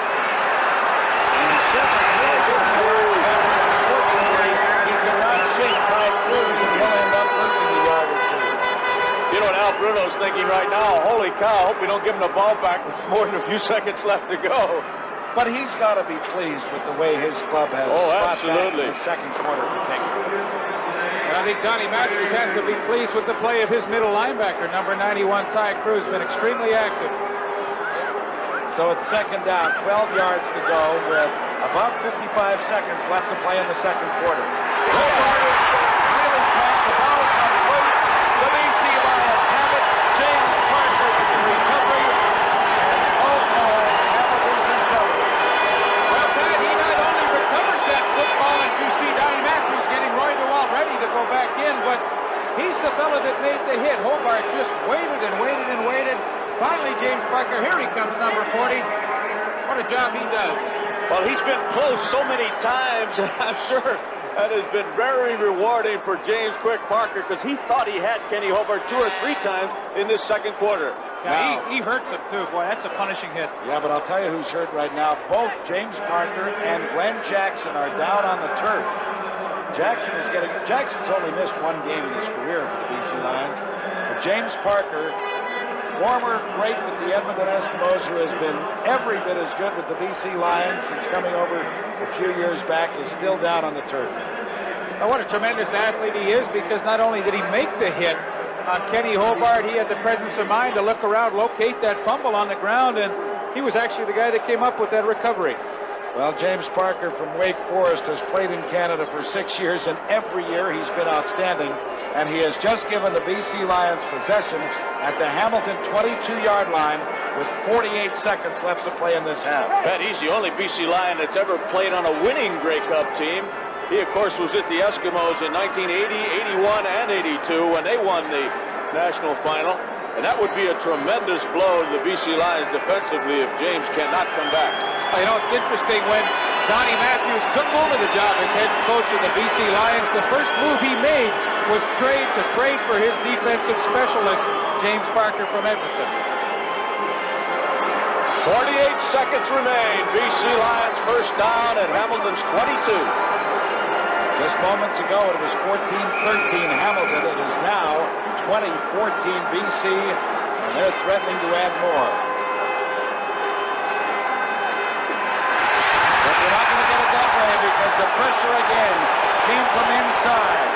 Mitchell Price, number 65, was there to record the sack for the Hamilton Ticats. Now, once again, Roy DeWalt was going to go to the long bomb, trying to strike quickly.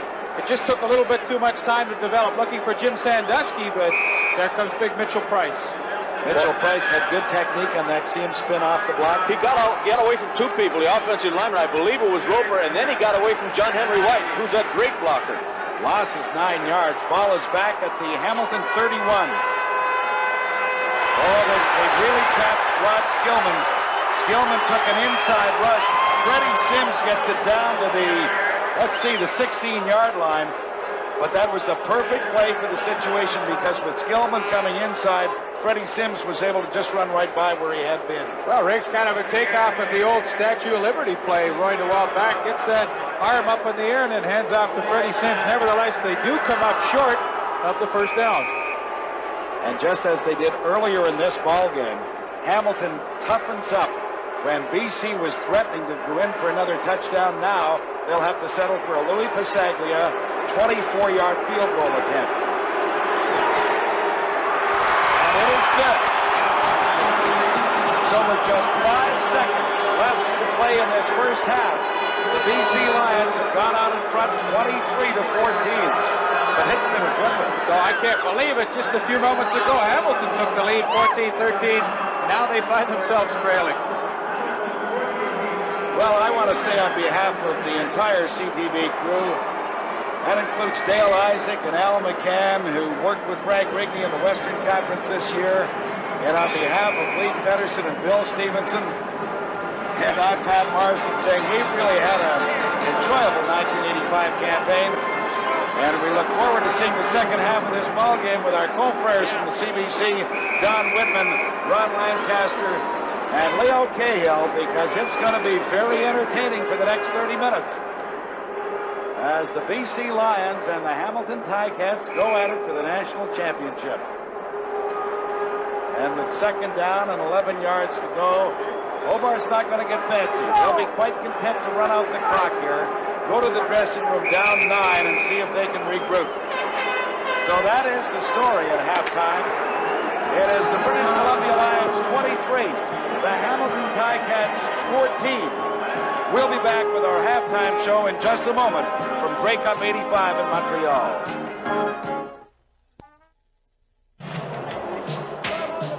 Hello again, everybody. I'm Pat Marsden with my old pal Don Whitman. That was pretty good half of football, wasn't it? Pat, it was a very entertaining half of football when the BC Lions jumped in front as they did. It looked as though it might be a first half blowout, but much credit to the Hamilton Tiger Cats. They played in that first half much as they did during the course of the season. They got off to such a bad start, one and six early in the year, then they came back in the second half.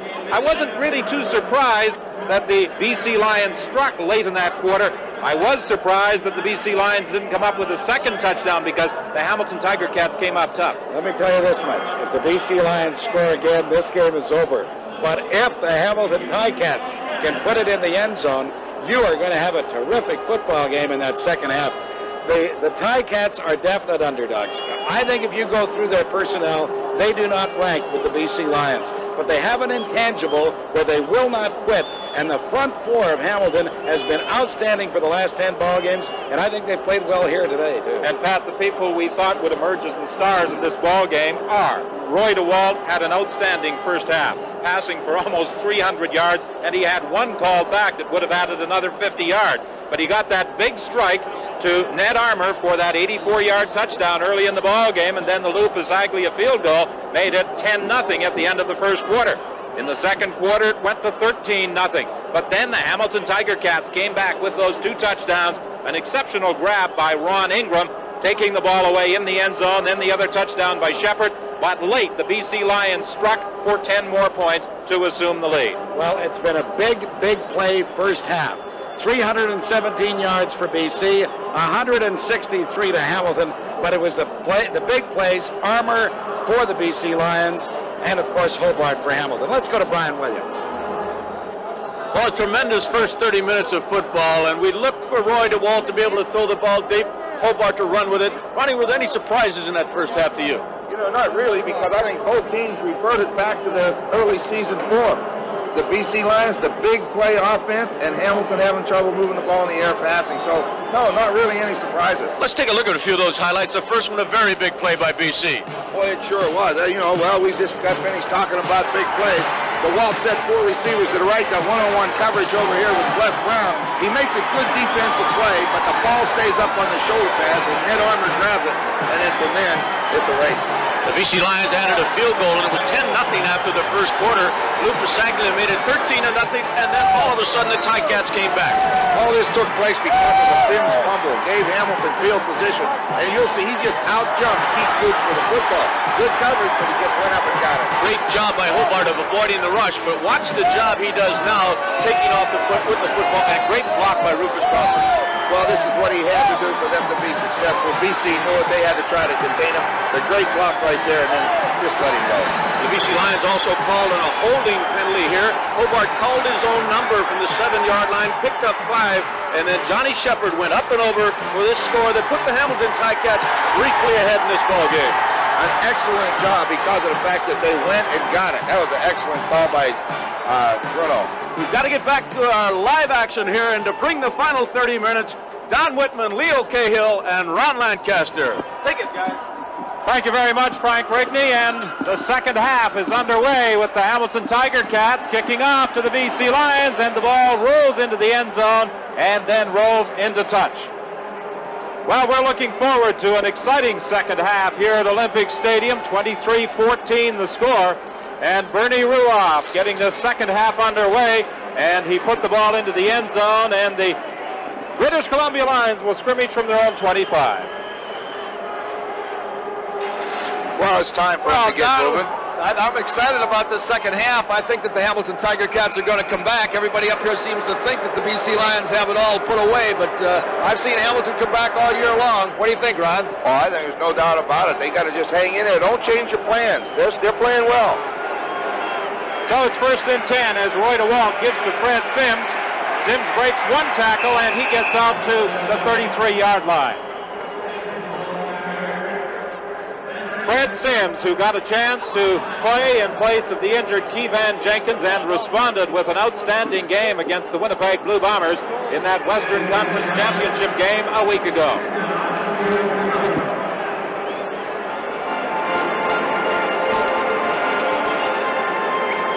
Second and two for the Lions. Roy DeWalt indicating the count to his running backs. He takes the handoff, fires incomplete. Intended for Rick Klassen, a little different twist by the BC Lions. That's a great play, really. They cleared the area out, cleared it out twice, and then he goes in on short yardage anyway. He just slides out into the open area. He catches the ball. It's a big gain, but just didn't hang on. No reflection on Klassen, but in a situation like that, when you have to get the first down, I don't know that you throw to a guy that only catches the ball once or twice a year. Well, it is unusual, but that's usually the guy that's going to be open.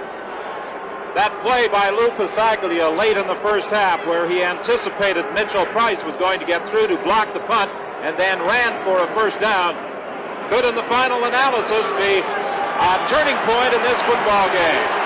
His third down punt to Rufus Crawford, and Crawford is upset at the 35-yard line. Well, let's see what the Hamilton Ticat offense can do in their first series of plays in this third quarter. Well, it's going to be interesting, Don, as the game progresses, to see whether the uh, BC Lions come out with the same kind of defensive strategy. Early in that ball game, they put people up on the ends of the line of scrimmage, defensive backs, shut down any opportunity for the quarterback to roll out and played man for man and then went to zone on second down. We'll see whether they do that in first down here. In the first half, Hobart in throwing the ball badly missed the target on a number of occasions. He has a strike with his first throw on this second half. Rufus Crawford on the receiving end for a gain of seven. Kevin Konar came in to make the tackle. 23-14 is the score. Rufus Crawford, Mr. Versatility as far as the Ticats are concerned.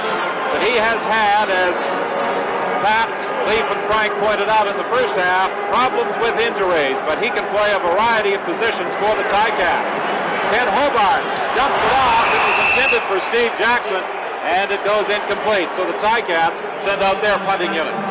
Actually, it was the second time now in as many tries for both teams that they dropped critical first down plays. He could have caught that ball. He would have had a first down on it. And Hobart, as you see him roll to his right right here, makes a good decision, but threw the ball a little bit behind the receiver. He could have caught the ball for the first down, though, Don. Darnell Clash, the lone punt return man back in anticipation of this third down punt by Bernie Ruoff.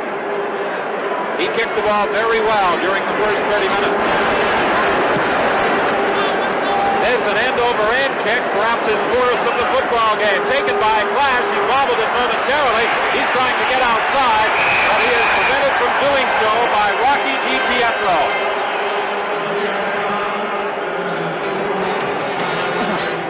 But Bernie Ruoff's kick that time, traveling just 32 yards. This is Grey Cup 85 from Olympic Stadium in Montreal. It's approaching 4 o'clock Eastern Time in Montreal. The sun beginning to sink in the west as the crowd at Olympic Stadium looks on with 12.30 remaining in the third quarter. And wherever you're looking in this afternoon, we hope you're enjoying Grey Cup 85 from Montreal. I'm Don Whitman along with Ron Lancaster and Leo Cahill, our CBC broadcast crew, provide you with the action in this second half. Freddie Sims, again the ball carrier, and Sims has a gain of eight yards. I was expecting the BC Lions to run the ball a lot today anyway. This is their sprint draw series. John Henry White blocks on Covington. Gets a good block from the right guard. Williams Leonard comes through and Sims picks up the yard. So I was kind of not surprised to see him run the football. They've got to move the ball a little bit, not the big plays. They're going to be able to shut those down on. Sims is now rushed for 43 yards. Ball again for a first down to the 50-yard line. And he's stopped by the safety, Paul Bennett. Well, you know, all year long we haven't seen any teams that really had consistency with their running game, maybe other than the Winnipeg Blue Bombers with uh, Reaves. But this, after, this afternoon with that front four coming through, we're watching Sandusky coming downfield now. It's pretty rough downfield on that one-on-one. With that big front four coming through there and putting a lot of pressure on the passer, it does, as Ronnie suggested, open up those slots in there for the uh, run play, on the, especially on that split draw where the quarterback looks like he may be going out to pass and then hands off. Because there's going to be a time in the second half when that big front four is going to get tired and those seams are going to open up. And at that time, a running back like they've got in there with the BC Lions, he can bust through there. Either one of them for that matter. John Pankratz was the intended receiver. It is second and 10 from the 50-yard line.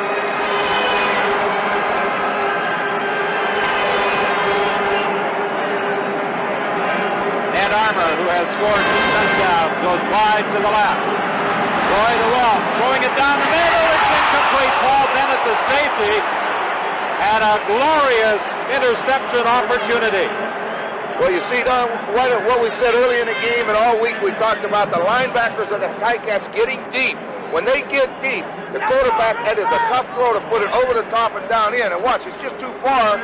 You'll see the linebackers underneath it. It goes over top the receiver's head, and Paul Bennett just drops an interception. Well, we've seen him all year long stand in that center field position and make those interceptions, and that's one that he really wanted. So Lou Pasaglia stands at his own 35 for this third down punt. Rufus Crawford takes it at his own 21. Nowhere to go. British Columbia has done a good job in coverage on those special teams, and those special teams were a key ingredient in their victory over the Winnipeg Blue Bombers last week. Well, I know that's been one of their key ingredients all year, but as today, I believe both teams have done a good job. Ed Gataveckas has done a great job for Hamilton. Neither team's been able to get what they want out of the special teams, and that's a good credit to the defense. Paul Bennett, Toronto, Winnipeg, back to Toronto, traded briefly to Edmonton. He never suited up with them, played with the Hamilton Tiger Cats this year, and wound up winning the Schenley Award as the country's outstanding Canadian player. He was nominated in two categories. He lost the other to Winnipeg's Ty Jones. Rick Blossom gets through to sack quarterback Ken Hobart.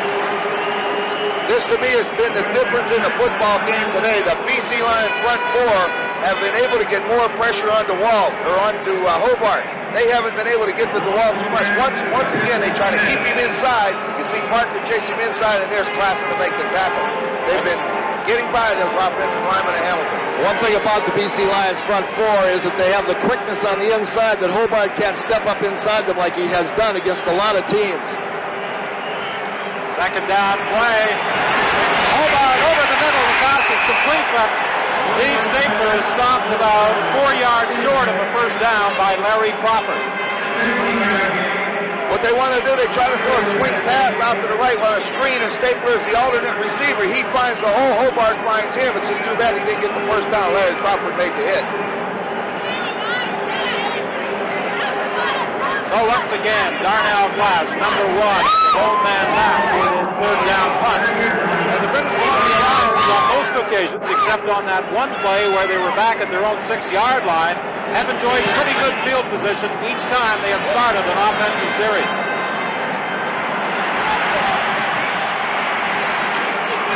The football. Who's got it? British Columbia managed to retain possession as the ball bounced away from Darnell Clash. You know, that, that's just about the place they fumbled before. This is Grey Cup 85 from Olympic Stadium in Montreal. I've got James Quick Parker with me. James, you took a hit late in the first half. What happened? Uh, the ball, when the ball was out, uh, a lot of the guys was jumping around. I just happened to be on the bottom of it. I got the worst of it. Basically, it was just I just got hit from being on the bottom of the pile. The Lions seemed to lose some momentum uh, late in that uh, first half, but you got it back. Yeah, you know, they're, they're a good team. They're playing hard, and we uh, trying to get control of stuff because the momentum do shift. We're just trying to keep the most of it. Good luck. Thank you. Roy DeWalt taking to the outside, now going deep, incomplete. Intended for Ned Armour, he was being covered by Donovan Rose. Talmadge Ned Armour, his given name. Talmadge, he prefers to be called Ned. He replaced Mervyn Fernandez. What pressure he came into that Western final under. He responded with a brilliant performance, and he has two touchdowns in the Grey Cup game. Well, that's about all you can say. The guy does have the great speed, and you just crowd him, and he's gone. So he's got to be a threat in about 20 yards on stops and hooks. Second and 10. The ball is at the Lion 43. They lead 23-14.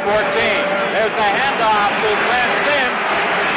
And Sims is going to be stopped short of the first down at the 49-yard line by Leon Lescavage. You know, Don, you talked about Merv Fernandez not being in the ball game. Congratulations to Merv Fernandez and the rest of those Schenley Award winners the other night. Paul Bennett, Tyrone Jones, Nick Bastaja, and Mike Gray. And I was really impressed at that show the other night by how each of those guys spoke and how well they conducted each other. I mean, conducted themselves, I should say, in front of that huge audience. There you'll see the reverse right there. Well recovered by the Hamilton Tiger Cats. Third down kick by Lou Passaglia. He hangs it high. Crawford goes back to his own 10-yard line. He slips there. There's nowhere for Crawford to go. That was a 51-yard kick by Lou Passaglia. Jamie Blease was downfield covering for Don Matthews, British Columbia Lions. You can't say enough about the job Matthews has done as head coach of the Lions, yet he has not been rewarded with Coach of the Year honors. However, leading the Lions to a 13-3 record in regular season play this year, and if he does manage to hang on to this lead, he may be so honored come January up in Edmonton.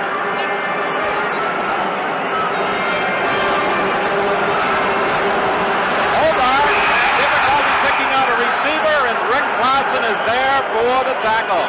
Sacking Ken Hobart, and Rick Klassen appears to be intent upon earning that Outstanding Performer Award from this 1985 Grey Cup game as he did in 83. Well, ahead now. You want to throw an out pattern to the right side, and when the man was covered, those outside ends forced him inside, and there's Klassen waiting on him. But Klassen has had an outstanding year. Talking to Don Matthews during the week, he felt he's played well all year. And I think, Ron, the big difference again, the inside of that defensive line of the BC Lions have the quickness that they're taking any kind of stepping up away from uh, Hobart. He just doesn't have the opportunities he's had a lot during the season of stepping up inside there and running. They just recover off their blocks and make the tackle. Johnny Shepherd stopped by Kevin Konar. It was second and 16 for the Ticats. There you saw James Parker loop real wide to the outside. That inside seam was open, but they needed too many yards. You're not going to run for that many yards. BC was content. They'll let you have that. Make the tackle, get good field position. You're, you hit it right on the head. The Lions have had great field position most of the day. And they're going to get great field position again as Bernie Ruoff is kicking from his own goal line. He's had a lot of work this afternoon. He has already punted the ball 10 times. Now, speaking of field position, as long as they can keep the young quarterback in a dangerous position on the field, he's very subject to make mistakes, and Donnie Matthews knows that. Darnell Bosch looks for a couple of blocks. There are penalty flags as Clash is stopped by Randy Ravansky. It appears as though the call will go against British Columbia. A 48-yard punt that time by Bernie Ruoff, but the return of Darnell Clash will be wiped out by a holding violation. That 10 yards that they're going to lose right here on, on the, the penalty, you, you don't like to lose those. BC number 31. First down. You don't want to lose that because they had the ball at midfield and you got a short distance. Every time you exchange ball, you want to gain field position. Handoff to Freddie Sims, and Sims fights his way out to the 45. Leon Lescavage was there to make the tackle. Freddie Sims is a little different runner than the man he replaced, Keyvan Jenkins. Sims seems to have more strength. He's able to drive straight ahead, where Keyvan Jenkins was more of a fancy runner. He was quick. Keyvan Jenkins is real quick. You give him a hole, he's gone. Sims can run inside or outside. He comes from University of Oklahoma in his third game. He's a power runner, 210 pounds. Over the middle, the pass is complete to John Pankratz. And Pankratz fights down to the 34. Caught that pass between the two linebackers, Ben Zambiasi and Leo Ezerins, and he took it down to the 34, a gain of 32 yards for John. You know, I think that the Hamilton Tiger Cats have to get close in this third quarter. And the big reason that they're going to have to get close is we see DeWalt go back get it down there to Pankratz, and this is the guy that I picked before the game as the dark horse because he can get in there and get into those seams and catch the football, and he can run with it when he catches it. But I think that the Hamel Tiger Cats got to stay uh, close in this third quarter because in the fourth quarter, if they don't, that front four are bound to be tired. And when they get tired, they're going to get reckless with their rush. And at that time is the time that those running backs are going to get up inside and sustain the football, keep it away from Hamilton. They're not going to be able to get the football. A gain of three at second and seven on that carry by Fred Sims. DeWalt throwing deep. Ron Robinson was covered by Howard Fields. Great coverage. He was there. He just got that right arm out, knocked it away. 5.18 is the time remaining in this third quarter. It's still 23-14. The BC Lions leading Hamilton. There you see, just at the end, it looked like Robinson might have had a shot at that right arm come out underneath. That's what you got to do. Get on him close and stay on him. Took a pretty good hit after it. Grover Covington, you know he's always close. Another field goal attempt by Lou Passaglia from 37 yards out. And again it's good. And the BC Lions stretch their advantage over the Ticats to 12 points. This is Grey Cup 85 from Olympic Stadium in Montreal.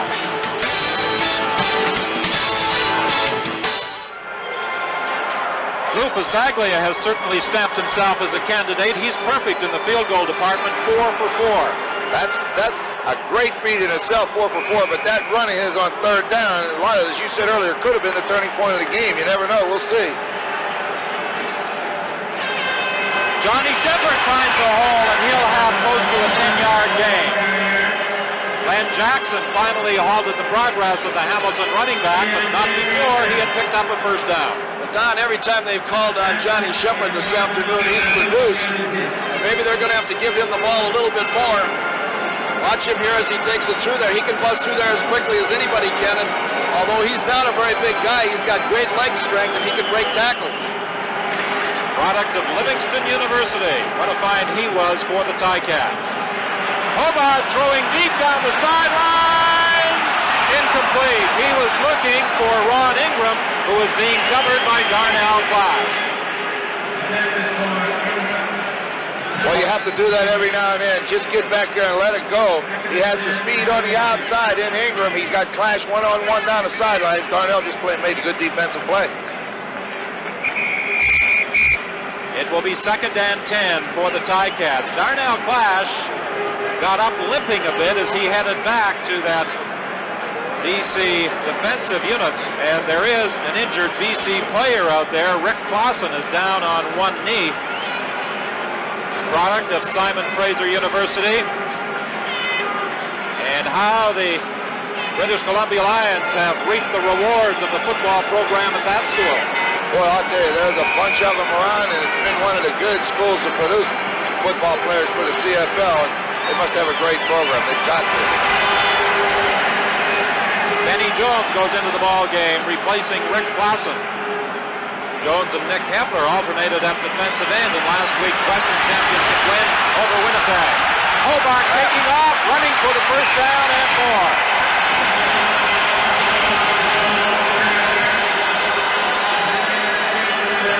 The Lions went to that zone defense again, and when they do that, it's going to open it up for Hobart. They're going to shut down the pass, but it's going to allow him to just take off and run with it. I don't think very many people know just how fast he was because Glenn Jackson had the angle on him that time and he still beat him to the sidelines. 15 yards on that carry for 91 in the ball game. And he has clearly demonstrated this afternoon why he ran for almost 1,000 yards during regular season play with the Ticats. He is a skilled runner. They were after him with the blitz. The pass is intercepted. Kevin Konar grabs it and is hauled down at his own 44. The blitz was on, and Hobart would like to have that one back. That was a screen middle that time. He had all the blockers and everything set up right there. The unfortunate thing was that he threw the ball right into the red shirt hand. It came with a safety blitz for one of the first times today. At least I haven't seen it. He had to get rid of the football, and as you say, he'd love to have that back because ill-advised at this stage of the game, or any stage, I guess. Well, we talked about Simon Fraser's contribution to professional football. University of British Columbia hasn't done badly either. That's the school that Kevin Konar attended. Freddie Sims finds a hole. Sims is a tough man to bring down. He'll fight off wild tackles and will shake off those tacklers, and that time he picked up about 14. Well, if they will just keep alternating that running and passing game now, like they've been doing in this third quarter round, they're going to be very, very tough to beat. Well, it breaks inside again. You just give the ball deep to a good back, he'll find a hole. Boy, they chopped on that backside linebacker, and that gives him the whole backside, and then it's just you run till they stop you. Now you see what happens. Those defensive ends are coming on that hard outside rush, and it opens up those inside seams. There it comes again. And Sims has another big game right now. Let's go to Steve Armitage. Kevin Konar is with me. Kevin, did you have the safety blitz on that time? No, we just had a, a base defense, and uh, he overthrew the screen. I just happened to be in the right spot. Seem to be getting lots of pressure on him. Yeah, our, our front four is doing an excellent job. We just got to keep it up. Hobart, it's a great runner. Don. All right, Steve. Well, Greg Gary has come out of the ball game defensively. Gataveckas has gone in. John Henry White gets the call this time. Brad Sims, who has done the bulk of the running for the British Columbia Lions, is closing in on 100 yards, and he is now going out of the ball game as we look at quarterback Ken Hobart taking a breather on that Hamilton bench. But He has to try and get that Hamilton offense on track if the Ticats are going to get back in the ball game. Right now, the British Columbia Lions leading by 12, very much in control.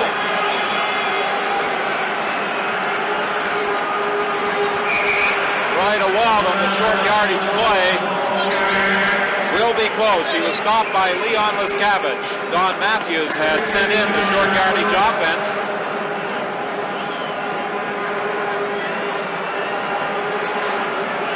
Matthews waiting for a signal as to just how far they are away from that first down. And he calls John Pankratz and Ron Robinson back to the bench while they bring out the chain to measure. I think he's going to be a little bit short on this. DeWalt couldn't fall forward. They grabbed him and pulled him back.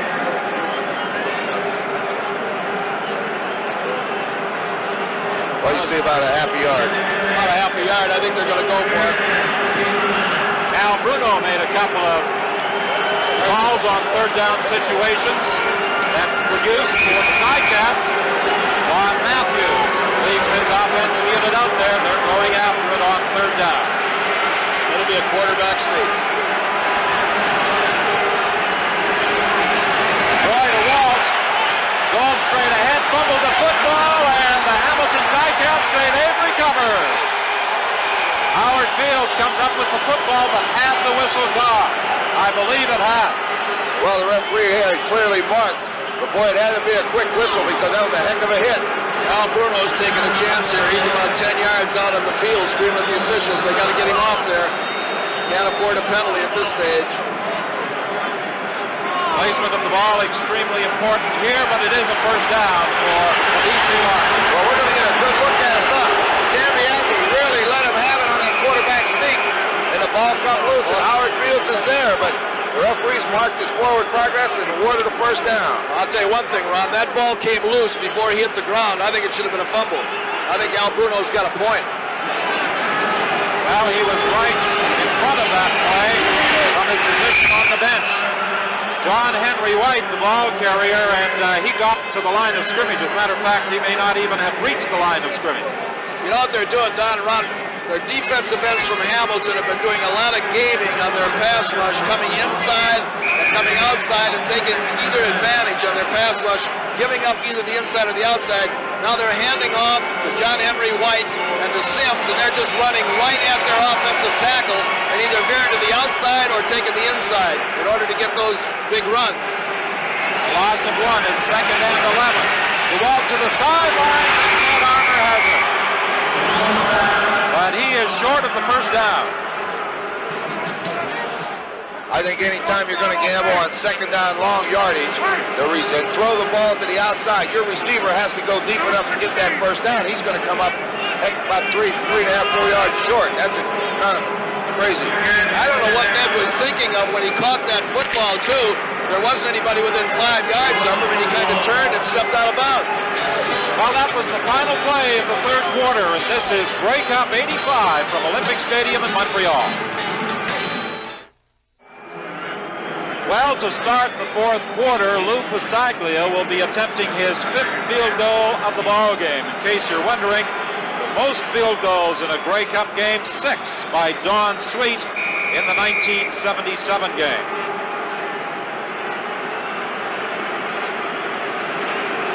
Twenty-seven-yard effort. It is good. And Passaglia is five for five.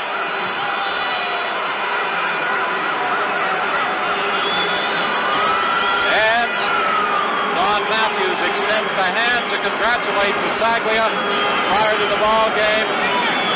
Some discussion as to which side had the advantage in the kicking game. So far today, Lui Passaglia is way ahead of Bernie Ruoff. I know talking to Frank Rigney yesterday and the day before, he felt that if there had to be an edge, and he said only if, that Passaglia was a quarterback, he could run, he could throw, and his running ability and, you know, heads-up play, that big turning point in the second quarter. Yeah, but in all fairness to Bernie Ruoff, his team hasn't got him in a position where he can kick some field goals this afternoon. We know he's been a great contributing force to that Hamilton Tiger Cats. Well, you just got two of the best out there this afternoon, and it's a real pleasure to see two guys like that on the same field. Lui Passaglia will be kicking off following that 27-yard field goal. Edom Raw was a cry of Hamilton defensive units back in the 50s and early 60s when they were a tough, tough team. Ball bounces to Johnny Shepherd.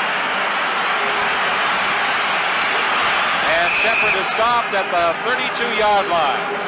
A 61-yard kickoff by Lui Passaglia. A big edge statistically for the British Columbia Lions as Roy DeWalt has passed for 328 yards. The Hamilton Ticats have not had any success throwing the ball. They've relied on the running game, particularly from quarterback Ken Hobart. And if they're going to get back in this ball game, Hobart has to start moving the team through the air.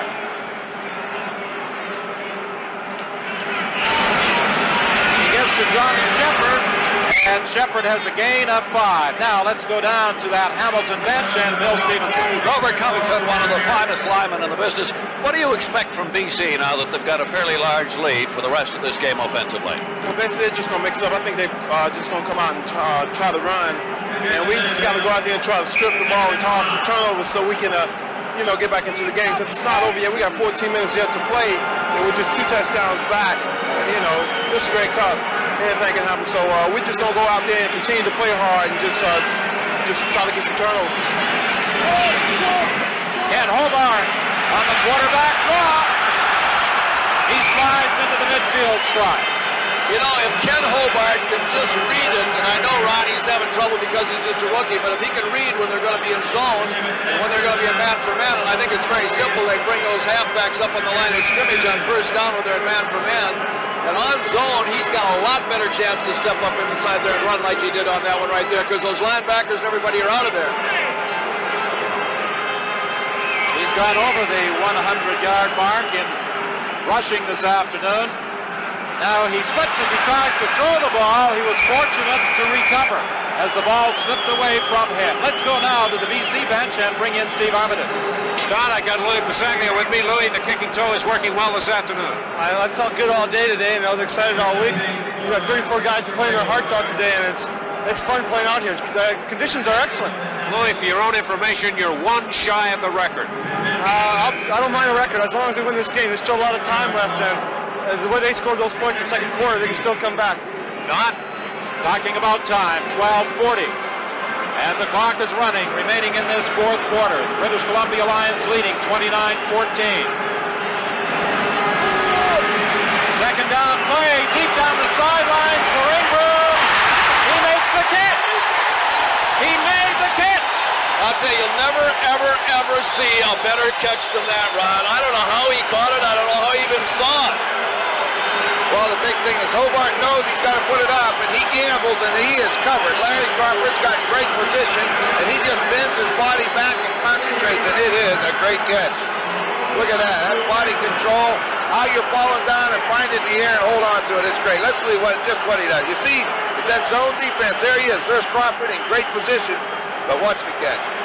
Oh. He had three problems finding the ball, making the catch, and then managing to keep his feet in bounds. Well, that's how football games are turned around by big plays like that. And you wonder how things like that can happen because it was a superhuman catch, but there they are right now, down about on the 12, 13 yard line. 48 yards on the pass completion. Hobart over the middle, he hit the crossbar. Just as well he did because Glenn Jackson's going to intercept that pass. What he needed to lay it up. The guy was open. You got 25 yards back there. Throw it all the way back. Hobart has hit on only 7 of 23 attempts for 125 yards. You see what Ron is talking about right there, Ron, and I know that you've directed a lot of passes like this in your career. When you've got the guy with the deep end zones that they have in Canadian football, you don't want to rifle it in there, just lay it up in the air and let him run under it. Second and 10. The ball is at the 13 with 11.47 remaining in the game.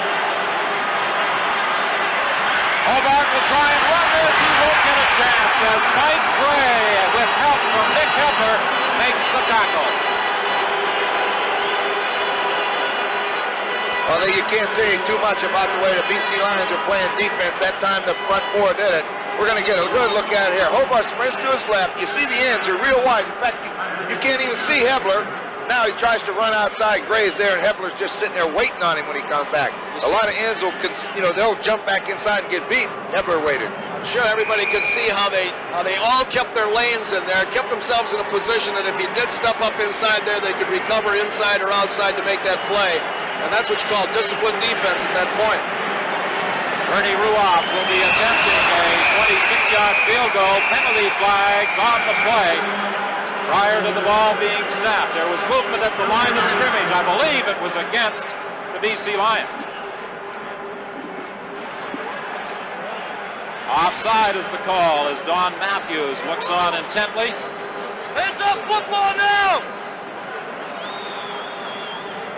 However, I don't think it will alter the situation as far as the Ticats are concerned because they will still be 11 yards short of moving the yardsticks. Offside, BC number 77. Third down. Mike Gray was the man who jumped prior to the ball being snapped. So Bernie Ruoff will be attempting this field goal from five yards closer to the uprights, kicking it from the 21.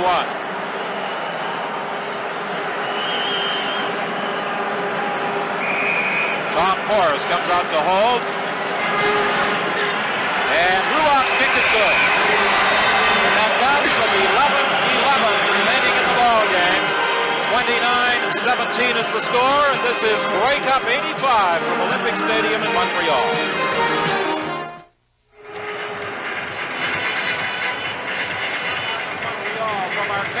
Atop Olympic Stadium, the lights of the city come alive on this Grey Cup night.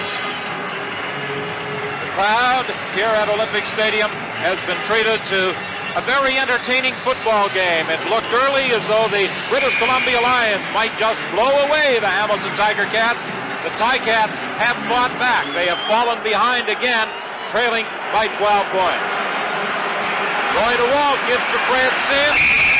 And Ben Zambiasi, who has played a very strong game from his middle linebacking position, comes in to make the tackle. Right now, let's go down to Steve Armitage at the BC bench. They're working on the hand of Nick Hebeler. He came off the field and the hand was cut. They've stitched it up and they're putting some tape on it. He hopes to get back into the ball game, but it was bleeding quite badly. Well, of course, Nick Hebeler missed the 1983 Grey Cup game against the Toronto Argonauts as the result of an injury. Nick has had some problems over the last couple of years with the injury bug. Long pass intended for Jim Sandusky. He was being covered by Howard Fields, and then Donovan Rose came over as well. If I was Donnie Matthews and I was in that position on the field, And I know with just 11 minutes left in the ball game, that they would kind of be anticipating that I'd be running on first down and possibly throwing the ball so I wouldn't be giving up that lead on second down. I'd think a little bit about some play action on first down, Ron, rather than running right at them. Lui Passaglia stands at his own 20-yard line for this third down kick. There was pressure as they were trying to come from the outside with Les Browne. Absolutely nowhere to go for Rufus Crawford. He is stopped at the 40-yard line, and BC has done an exceptional job of covering on third down kicks, and Jamie Buis was there that time to make the stop on Rufus Crawford. This is Grey Cup 85 from Olympic Stadium in Montreal.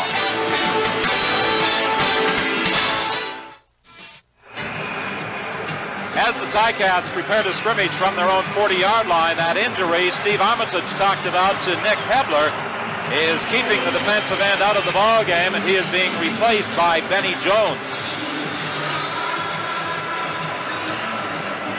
Ten minutes is the time remaining in the ball game.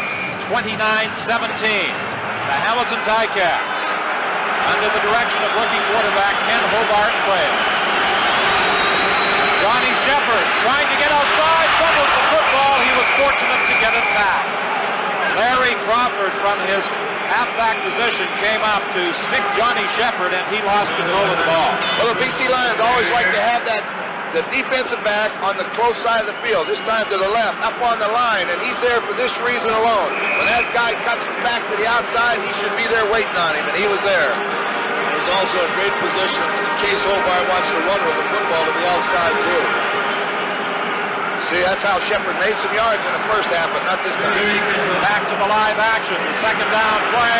Hobart throwing deep. He's looking for Stapler. Incomplete. He was being covered by Darnell Clash, and I think Steve Stapler may have just mistimed his jump.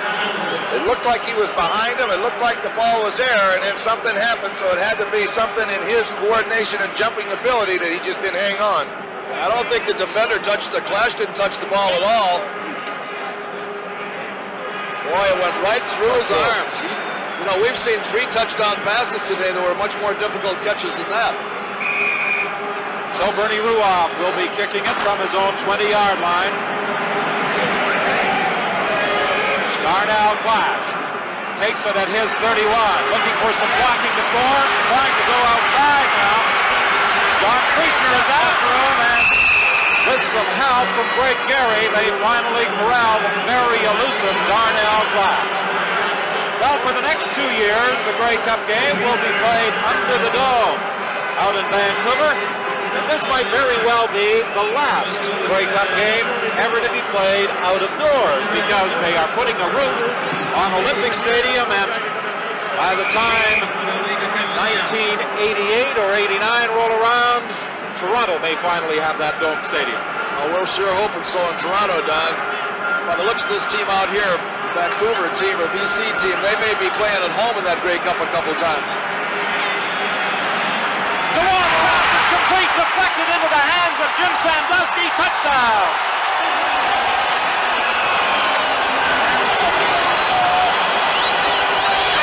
I believe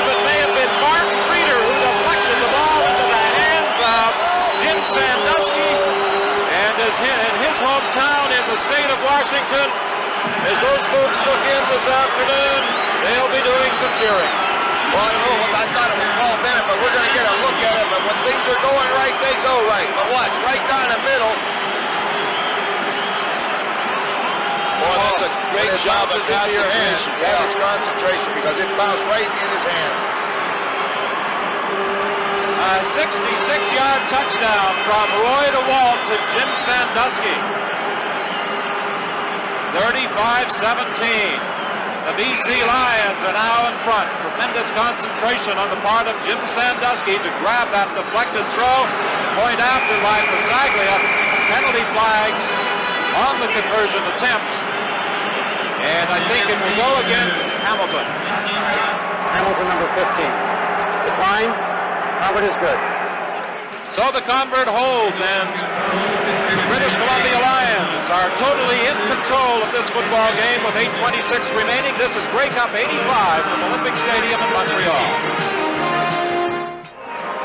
Jim Sandusky, super job of concentration. Thank you. First of all, I'd like to thank the Lord for everything He's given me. And, uh, you know, um, you know, this is the greatest game right here, you know, the Grey Cup, and we've just been playing great. You think they'll be washing in the uh, state of Washington? Oh, yeah, back in Othello, I'd like to say hi to my mom and dad and, and uh, my sister Nancy in Colville, uh, the rest of my brothers and sisters. Okay, Jim, thank you. Don? Well, that saves the price of a phone call. Jim Sandusky with that 66-yard touchdown. And on this kickoff return, Rufus Crawford fights his way up to the 39-yard line, and Darnell Clash was there to bring him down. Well, the roof at Olympic Stadium, and on the left of the screen you see the piece of architecture that is rising and will eventually provide the cover for the hole in the Big O.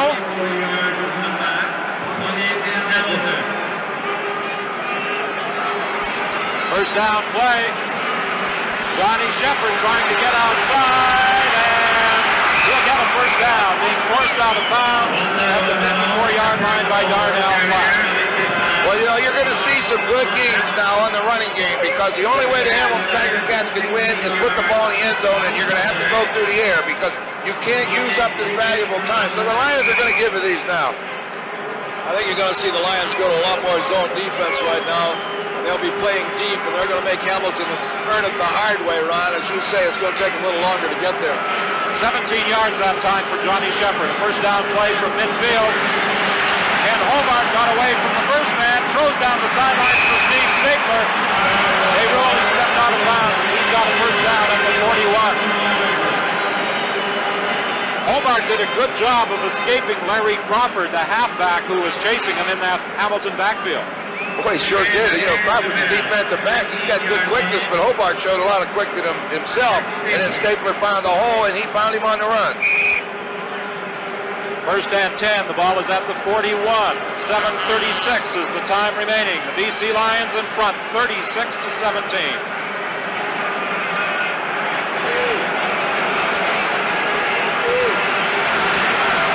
Hobart almost intercepted. He was looking for Rocky DiPietro, and Larry Crawford had the best position on that throw. Well, he had to take a lot off of it because he was tackled at the last moment. He couldn't get his follow-through in and actually threw it right into Crawford's hands. Once again, it was Rick Klassen, the guy, but look at that. If Crawford picks that off, it's going to be between him and Stapler to the goal line because the quarterback was down, and he's usually, usually your last line. Second and 10. The ball is at the 41. The Ticats desperately have to come up with some points here they have hopes of winning this 1985 Grey Cup game. Completes the pass for a first down as he finds again. In key situations, the man he's gone to is Ron Ingram, once for a touchdown, another time for 48 yards, and this time for 24. You know, the knock against Hobart early in the season was that as soon as he made up his mind that he was going to run, he'd pull the ball down and he'd run come hell or high water. That time he started to run, but had the good thought of run, think, or the good uh, direction of looking downfield, saw his pass receiver over and got him the football. That shows that he's coming along as far as his experience is concerned. Good judgment on his part. From the 17-yard line, first and 10. Hobart's pass in and out of the hands of the intended receiver, and Steve Stapler had a great opportunity to put the Hamilton Tiger Cats right down to the one-yard line. On this kind of pass, you want to throw it low, but about belt high is ideal, where he can get it, get the feet under him, and run. When he gets down there that low, it's a difficult catch. It will be second and 10 from the 17.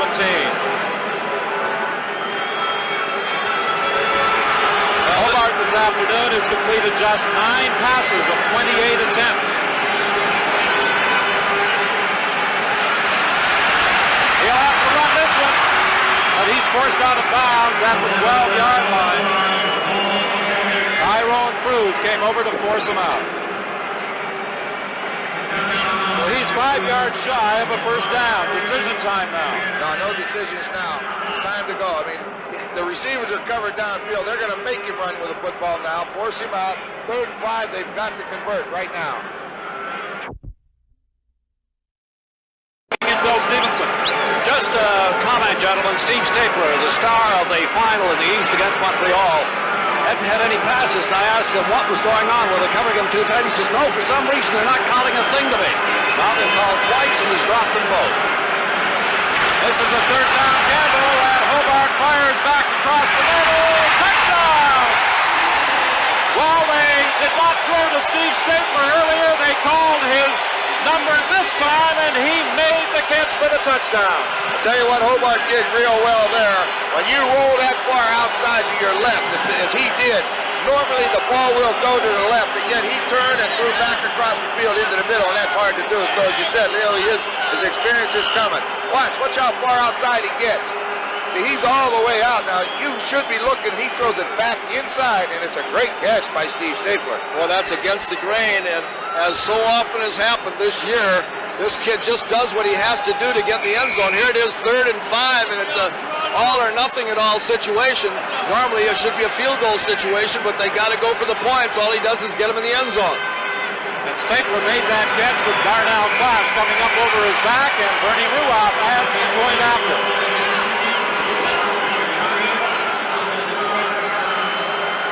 We're going to see it one more time as he rolls out to his left. And as Ron said, when you roll out to your left and get your shoulders turned, he had, he had to almost come all the way back on a 360, it looked like, to get the ball in there. But he could get enough on it to get it in there. And Stapler, who has been neglected all afternoon, will watch Stapler crossing now with Darnell Clash. It's man for man all the way, and Darnell let him get to the inside. Steve is waving his arms. Darnell goes over the top, but the ball is right on the money. 5.33 is the time remaining. Steve Stapler San Diego making the touchdown grab on a good throw by quarterback Ken Hobart.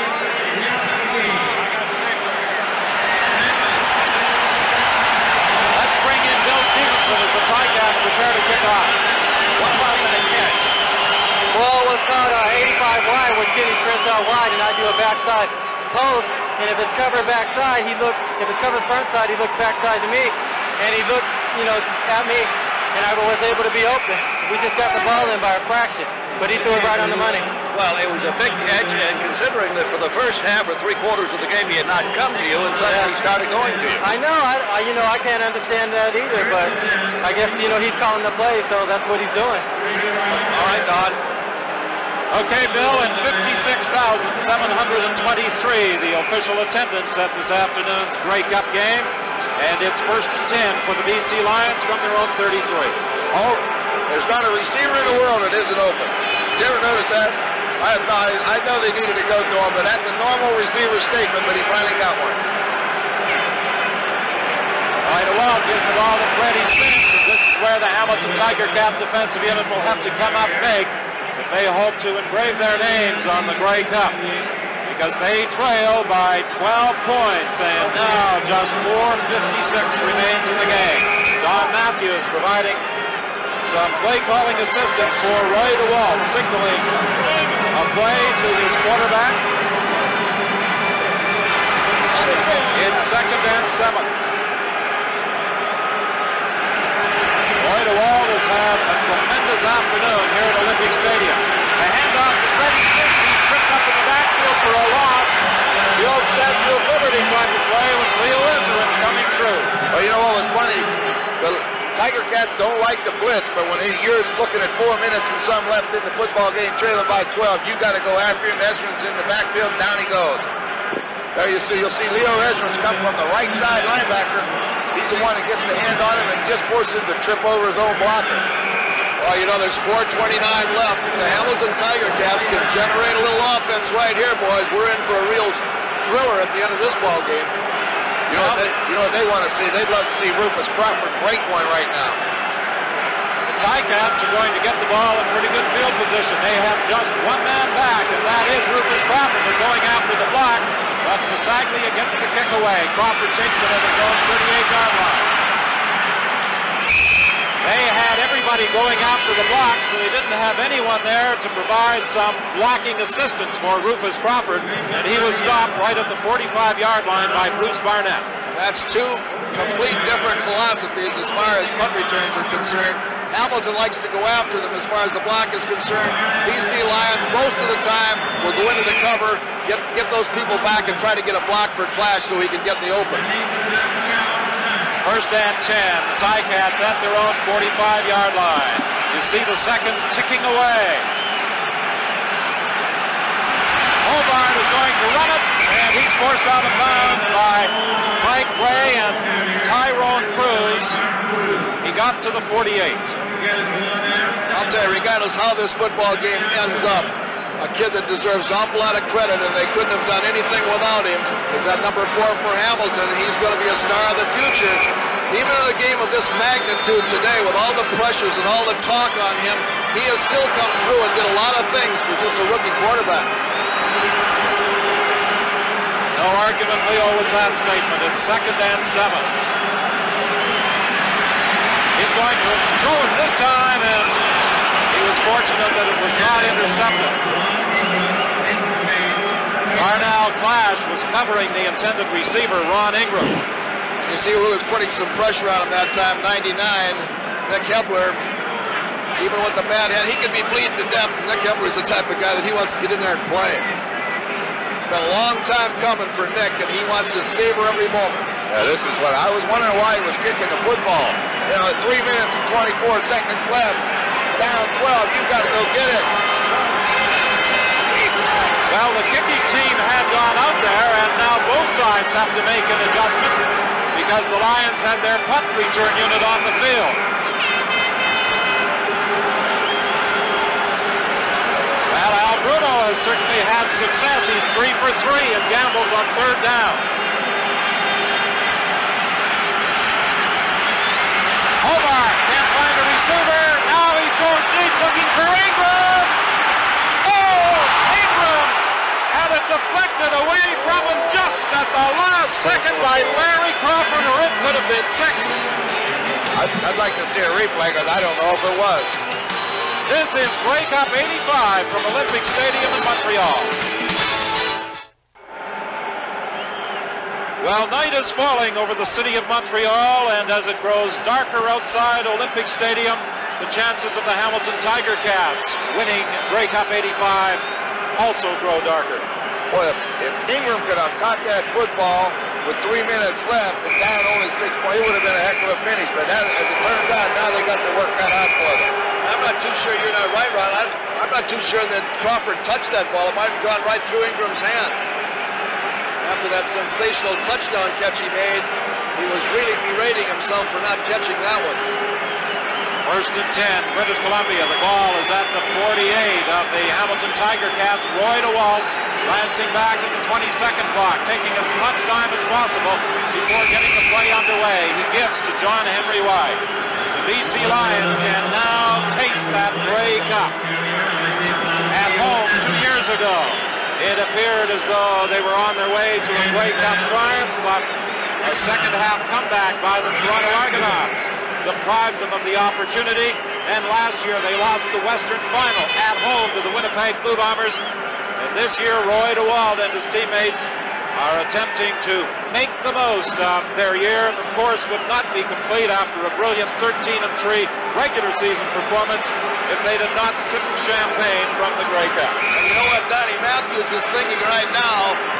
He's saying we got to play it safe for one more play, and then we're going to punt the football, and we're going to make Hamilton take that football almost 100 yards against the best defense we think in Canada. Ben Zambiasi was hurt on the last play. John Priestner has gone in at middle linebacker. It's second and 10, and again, DeWalt using as much time as possible, and he gives the ball to Fred Sims as he fights to the 45-yard line. Ben Zambiasi, the outstanding middle linebacker of the Hamilton Tiger Cats, who typifies the toughness of this team from Steeltown. Danny, I think that probably Bobby Lui Passaglia right now will definitely be angling this thing to make sure that he doesn't get it in the end zone and kicks it out of bounds because he doesn't want to get it in the end zone right now. He didn't want to bring it out to the 35-yard line.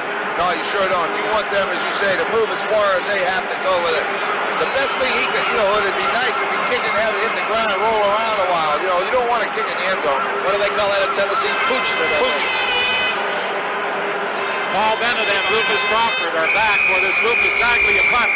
You may have noticed that Passaglia kept glancing back over his shoulder at that 20-second clock, and they are going to take the time count violation. That moves the clock to 150. And will the Grey Cup reside in Vancouver for the next year? The BC Lions are 1 minute and 50 seconds away from taking a cherished trophy back to the West Coast.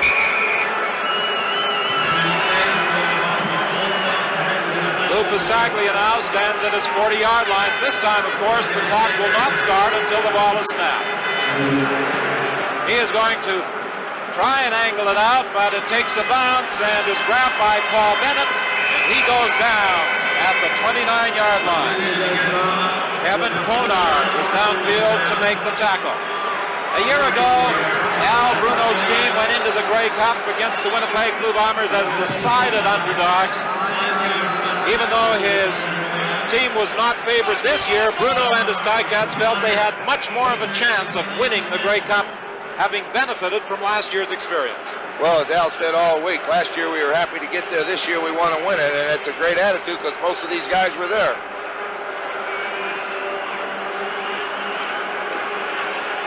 Hobart is in trouble.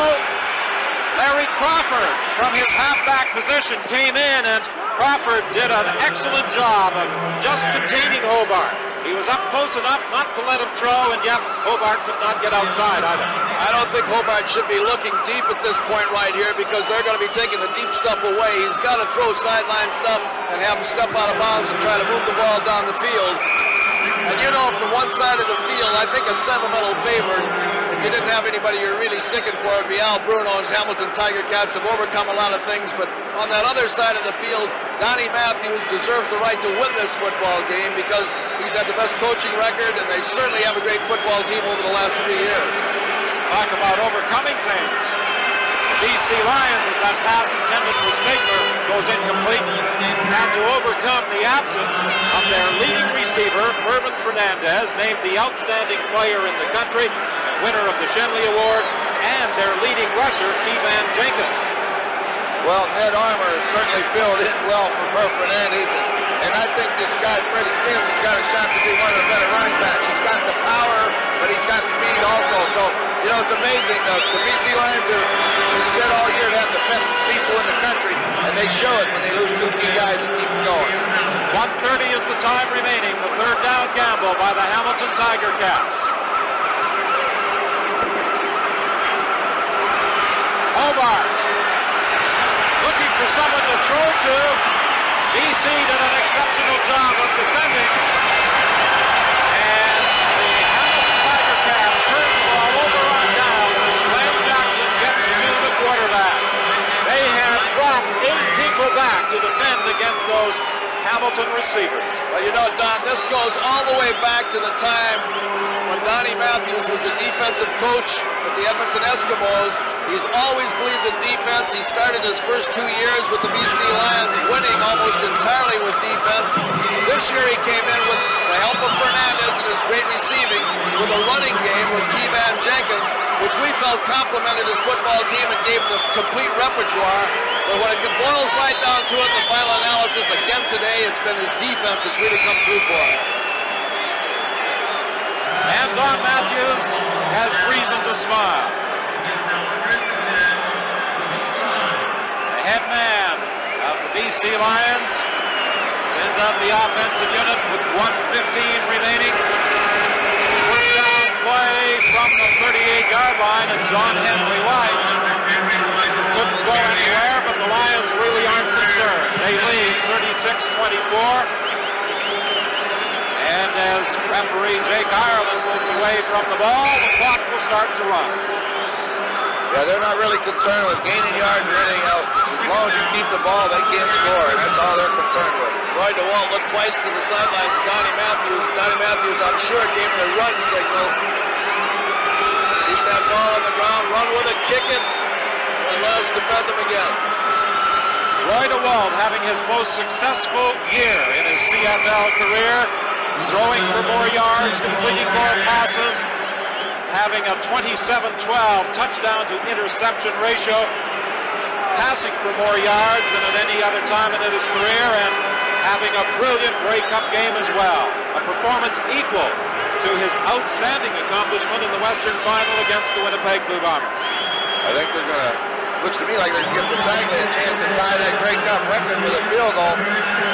I think that's a good move. You know, you don't get to too many Grey Cups, and if you ever have the chance, it'd be nice. This is Grey Cup 85 from Olympic Stadium in Montreal. Well, with 47 seconds remaining, Lui Passaglia is going to get a chance to equal a Grey Cup record. A 41-yard field goal try. Don Sweet established the record in 1977. This kick is short and off to the side. It will go as a single point. 37-24 the score. BC Lions now just 40 seconds away from winning the Grey Cup. I'd like to say to Leo Cahill and Ron Lancaster how much I've enjoyed working with you two gentlemen during the course of the season, and I think you will agree with me that uh, we have enjoyed this union of the CTV and CBC networks for our Grey Cup coverage with Pat Marsden, Leif Pettersen, and Frank Rigney. Uh, you know, Don, there's been a lot of criticism by certain people as to what happened in the CFL this year, but there's certainly the culmination of this game today. The two teams that played in the game, and as you said, the association all year long has been a fruitful one, and I've really enjoyed it too. How about you, Ron? Oh, it's been fun. I, I love to be around the game. Well, Tom Porras is in there at quarterback, replacing Ken Hobart for these final few seconds. And that sideline pattern deflected to Rufus Crawford. But he had stepped out of bounds. And you know something? That is just another manifestation of the kind of a guy that Al Bruno is. He knows it's, it's important to get a quarterback in there that says that he can play it, that he has played in a Grey Cup game. And here's a kid that got in there for a couple minutes, but he can always say that, you know, he's played in a Grey Cup game for a couple seconds. And just over on that BC bench, we caught a glimpse of number 52, Al Wilson, in his 14th season in the CFL. He has won individual awards, and now he is finally going to receive that cherished Grey Cup ring as a member of the 1985 CFL championship team, the British Columbia Lions. Rocky DiPietro on the receiving end of that Tom Porras throw. There's the veteran center, Al Wilson. 14 years, that's a long time. Boy, it's amazing when you think of the number of great football players that never did win a Grey Cup. It's nice to see a guy like Al Wilson get the shot. Now just 28 seconds remaining. 37-24 the score. The BC Lions leading the Ticats. Tom Porras swinging that pass out, and Steve Jackson is stopped at the 50. And that takes the clock down to 21 seconds. There was a penalty flag on the play. The last time the BC Lions won the Grey Cup in 1964, the team they defeated that year was also the Hamilton Tiger Cats. BC Lions have made four Grey Cup appearances, and they are batting 500, winning in 64 and 85, losing in 63 and 83. Upside, Hamilton number 23. First down repeated. Rocky DiPietro had moved prior to the ball being snapped. Will we see Roy DeWalt in 1986? He is going to enter into contract negotiations with Bobby Ackles, the general manager of the BC Lions, in the next few days, and we certainly hope that he will be back. The interception by Darnell Clash.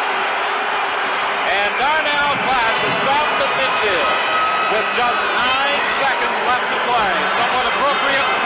And nine seconds remain as number nine, Roy DeWalt, will come out to direct the BC Lions for the final few seconds. And I don't think Darnell Clash is going to relinquish that football. No, I think that one's gone. He's never going to turn that one loose. Uh, you know, in that final game out west that we did last week that BC beat Winnipeg, there was a lot of talk that in the final analysis BC was going to choke again. There was a lot of determination in their players last week, and it's just another carryover this week. And yet, it's been a lot of years for them, a lot of criticism for them in key games because that's the price you got to pay for having a great team with a great record, not winning it all. But this year they can say they won it all. Well, some of the fans have moved out onto the field. The security people are out there just as quickly to try and remove those fans. As Roy DeWalt on the first play drops to one knee. That uses up just one second, but this should provide the Lions with the chance to run off those final few seconds to officially be declared as Grey Cup champions 1985, 37-24, the score for the Lions over the Hamilton Tiger Cats. Don Matthews, the coach of this 1985 championship team, he was, of course, with the Edmonton Eskimos during their reign. Al Bruno, the head coach of the Ticats, disappointed, but Al Bruno can be proud of the way his troops performed after getting off to such a bad start this year and then coming back in the second half of the season and coming back in the second quarter of this Grey Cup game to make a contest of it. And Don Matthews is now trying to get over and find his opposite number, Al Bruno. But unfortunately, many of the fans are charging out onto the field and the coaches are unable to exchange pleasantries among that mob scene, but I'm sure they will talk to each other later on in the safety of their own dressing room. Pat Marsden, who called the first half of the ball game, is here with me, and uh, the expression Pat on the face of Al Bruno pretty much tells the story as far as the Ticats are concerned. Well, that's true, but you know what? Whit, this was a great football game. It culminated a very difficult season for the CFL, but we saw so many big plays in this contest, so many near misses. You know, a fumble that might have been a fumble and wasn't called such, a tip pass that ended up going for a touchdown. Just a great, great performance by both these clubs. The expression of joy on the face of guys like Parker and Wilson On with the commissioner down there right now. and the greatest football fans in the world. It's an honor to present the Grey Cup to the British Columbia Lions, number one.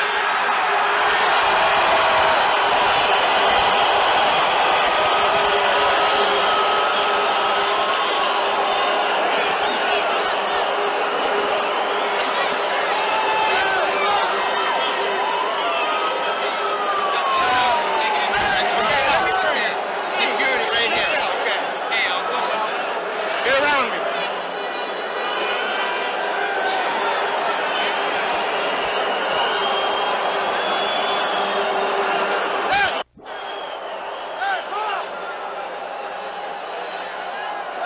Well, there's chaos down on the field right now, understandably. The BC Lions and their fans are jubilant.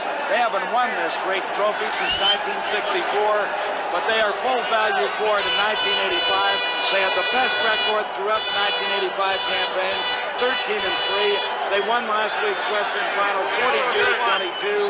They are just exuberant and joyful at their 37 to 24 victory here this afternoon. But it was a great football game. And Hamilton Ticat fans have absolutely no reason to feel ashamed. Their Eastern champions came into the big O this afternoon, and I'll tell you, they came within inches of pulling off a great upset because, you know, there were passes that just missed by an inch. But I, I thought it was a great classic. You know, a lot of the football fans in Vancouver this year have booed Roy DeWalt. And Roy DeWalt told me the other day, as he told you, it goes with the territory. He's, they booed every quarterback out in Vancouver, including Joe Kapp. He said, you have to accept it. Last week, Roy DeWalt, I thought, had one of his best games ever in this 1985 season, under tremendous pressure against the Winnipeg Blue Bombers. He responded again this afternoon, passing for almost 400 yards in the Grey Cup game. Roy DeWalt has responded to the pressure in the two most important ball games of the year. But that whole organization has. I mean, when you take Bobby Ackles, the general manager, and Don Matthews, they've maintained consistency in the operation of their football team. They were able to come up with replacements for both Mervyn Fernandez and Keyvan Jenkins. I mean, what more can you say? Let's go to Brian Williams. All right, thank you, Pat Marsden and Don Whitman. An outstanding football game. These two teams met in 1963 and 1964. Remember in 63, Angelo Mosca put Willie Fleming out of the game in Vancouver. The Ticats defeated the British Columbia Lions. In 1964, the Lions came east to Exhibition Stadium in Toronto, and Joe Kapp and Willie Fleming gained a measure of revenge over Bernie Faloney and the Ticats, and today they win over Hamilton again. Stay with us. We'll go live to the dressing rooms. This is Grey Cup 85 from Olympic Stadium in Montreal.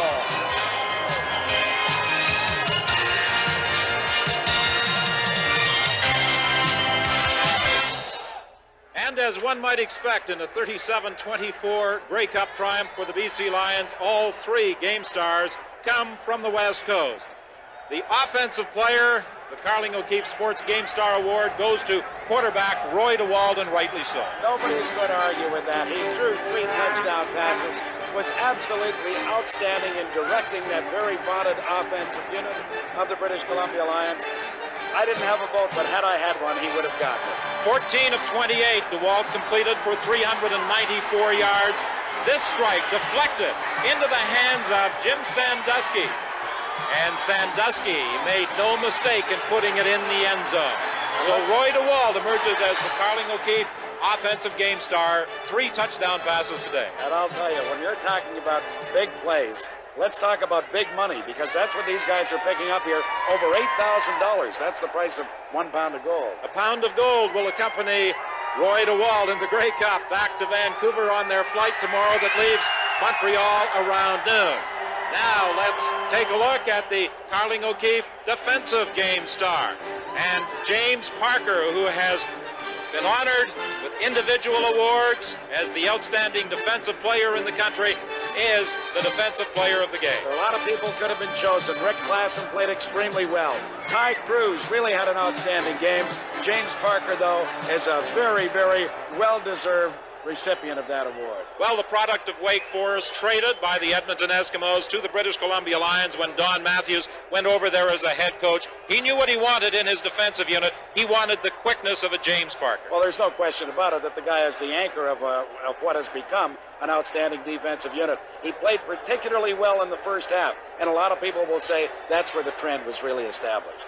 Many people said that the kicking game would be a key this afternoon for the British Columbia Lions. Indeed, it was. And the Carling O'Keefe Canadian player of the game, Lui Passaglia, who accounted for 19 of his team's 37 points, and he just missed on a field goal attempt that would have equaled a Grey Cup record. But this was the key play in the first half when the Hamilton Tiger Cats, Pat, had moved ahead 14-13 and looked as though they may have taken control of the game. Passaglia ran on third down. Can I tell you something else? He might have tied that record, too.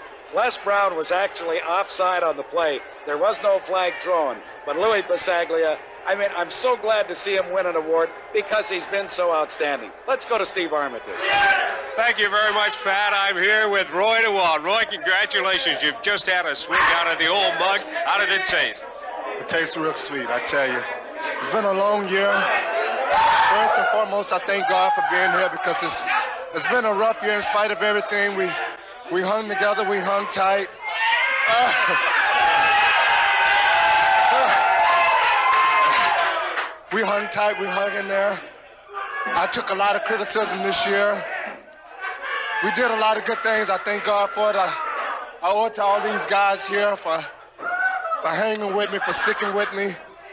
Here we are, we won the cup. Was there a turning point in this one for you, Roy? I, I don't know. I, I can't, I, it's been so, I don't know when the turning point was. When Jim caught that last touchdown, thought we had a pretty good chance of winning again, and thank God we got it. Do you think the fans will cheer you on BC Place Stadium? It doesn't matter. It really doesn't matter. We got the cup. We got something we've been wanting to get all year long, and I'm just grateful that we're here. I'm grateful that we got it, and again, I thank God for it. This will get you a good contract, I would suspect, from Bobby Ackles. Well, you know, I want to stay in BC because I am established in this league and I know the Canadian game, and I've I've told you know my agent that if we can work out something, I'll be more than happy to stay here. But if we can't work out none, then I, I may have to wear one of those orange jackets. I don't know. Anytime. Roy DeWalt, the offensive game star. Let's go over to Bill Stevenson, who's standing by the defensive game star. The Carling O'Keefe defensive game star. And I speak with James Quick Parker. James, this is your trophy. From Kodak, you're going to get a pound of gold. You ever seen a pound of gold before? Haven't either. James, this is your fourth Grey Cup. Is it any sweeter than the ones you had? Oh, some of the definitely. You know, this is this is the one before was great. This one right here is now, and we worked real hard for the last couple years. I've been here, and it's great. You know, it's a great bunch of guys, and I couldn't think of a no better city to do it for than Vancouver. Did you have a feeling that your season would not be successful if you had not won this game, the Grey Cup? Uh, no, this, well, this is the ultimate game in uh, Canadian football, and it sort of does capture your season if you can go 13 and three, But you win the West End final. You had been so close, though, James. Yeah, I'm yet telling you. if you hadn't have got it, it really would have been a letdown. Yeah, it would have been it would have been tough trying to get over this season and then go to next year, and then we have to try to work for again because the guys got close in uh, in '83. So this year we try to keep a business type uh, attitude all week and just come and work hard. Now, let me ask you this. Is this a better defense than the great defenses you played with, with Edmonton Eskimos? Uh, it's a different kind of a defense. Uh, we run different things. I think the defense that we had, we was at Edmonton, is just outstanding. I think, and the defense that we're playing with now is a different type personnel, so it's really hard to compare. But right now, this is the defense because this is the one that won the Grey Cup. Well, you certainly had Ken Hobart and the Hamilton Tiger Cats defense. Uh, we were we were definitely trying to keep him contained. We figured we couldn't totally shut him down, but we figured we could just contain him 50% at a time. The guys in the back could do their job and get an offensive ball. James Quick Parker, congratulations. Thank you. The Carling O'Keefe Defensive Player of the Game. And here's the gentleman, Lui Passaglia, who is the Canadian Carling O'Keefe Game Star. Take it away, Steve. Thank you, Bill. Ten years in the league, Lui. This is it. This is a special moment. This is a team game. Uh, we had our heart set in it. You know, we came back from adversity all year long, and there's always all year long everybody was saying uh, there's Winnipeg and there's somebody else, somebody else. But uh, we've proven that there's a number one. There's only one number one team in Canada, and that's the BC Lions. Lui had five field goals. Uh, you came up one short of uh, tying the record or setting the record. Uh, records are important in games like this. This is a, as uh, Coach Matthews, Matthews has preached all year, this is a team game, and today we proved it. Uh, every facet of the game, we played well, and, and the guys are deserving of the victory today. Leo Cahill said he thought maybe the turning point may have been your fake punt. Did you call that? Well, that's one play I wouldn't want in the playbook because that wasn't a fake punt. Uh, the guy came clean. I just happened to see him. I was lucky enough to get by, and I, and I made it to the first down marker. Lui, congratulations once again. Thank you. I'd like to say hi to my wife, Loa, and the kids, my mom and dad, and my brother, Walter. I love you all. Okay, our Grey Cup coverage, Cup 85 from Olympic Stadium in Montreal continues after this.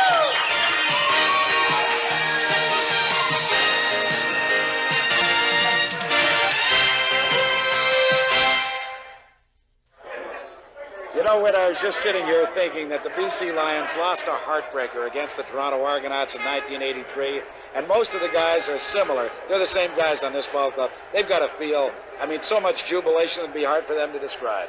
Almost a similar story. They lost the Grey Cup in their first appearance in 63 at home, came east to win it. They lost in 83 at home, came east to win it, and the celebration is underway in the dressing room as Bill Stevenson reports. It's underway, all right. It's also going all over. Al Wilson, there are a lot of people here very proud, but as the 14-year member and the senior member, you must be most proud of them all.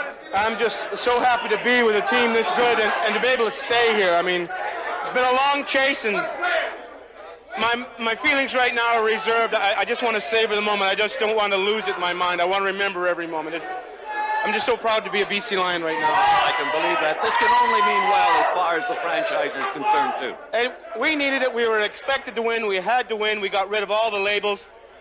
We had the best record in the country. We took the championship. I'd like to congratulate Hamilton. They played one hell of a football game. They're not an 8 and 8 football team. They came in here to win a football game. They Best for them. They thought they could win. Al, how much longer for you? Are you ever going to quit? I don't know how much longer for me. I don't want to put a time limit on it. Why would you, the way you That's right. Thank you. Congratulations. Nick Hebeler. Nick, you have been one of the real raucous, eat 'em alive kind of guys with the BC Lions. You have been known as a guy who leads the charge out there. Today you played a whale of a game. Well, I was I was pumped up for this game. I had to take a few sleeping pills the last two nights just so I could get some sleep, or else I would have been fatigued.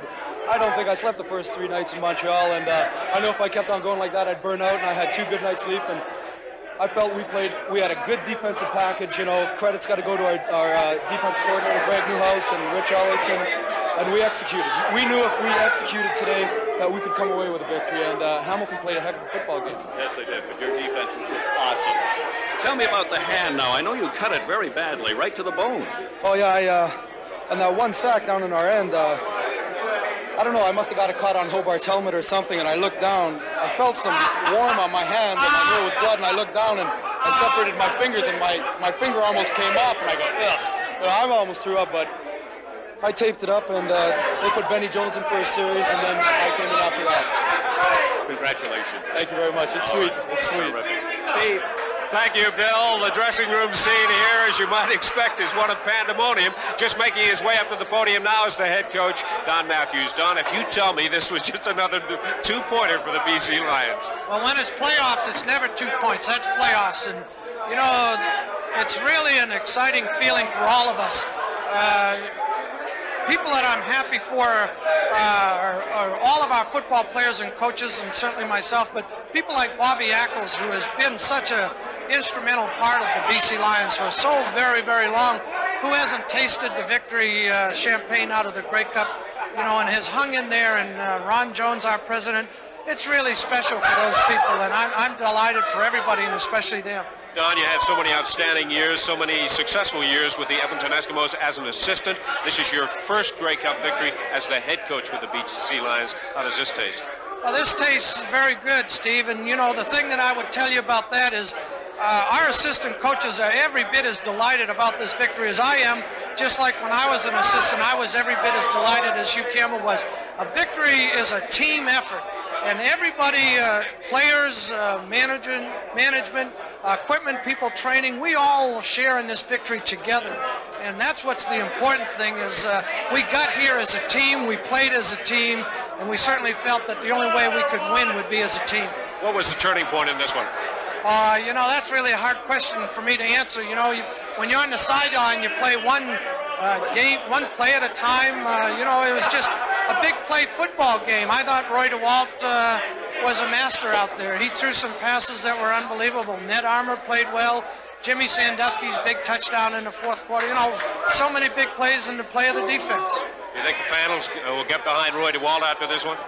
Oh, I think there's no question about that, Steve. In fact, you know, in the Western Final, when he was introduced, they gave him a standard ovation. And, you know, when things like that happen, uh, a lot of uh, things in the past aren't important anymore. And, and uh, Roy DeWalt feels good about himself and our football team. And, you know, I just love him. I think he's great. Don Matthews, congratulations once again. Thanks a lot, Steve. Now let's go to Bill Stevenson. Field position was one of the secrets to success of the BC Lions in this Grey Cup victory.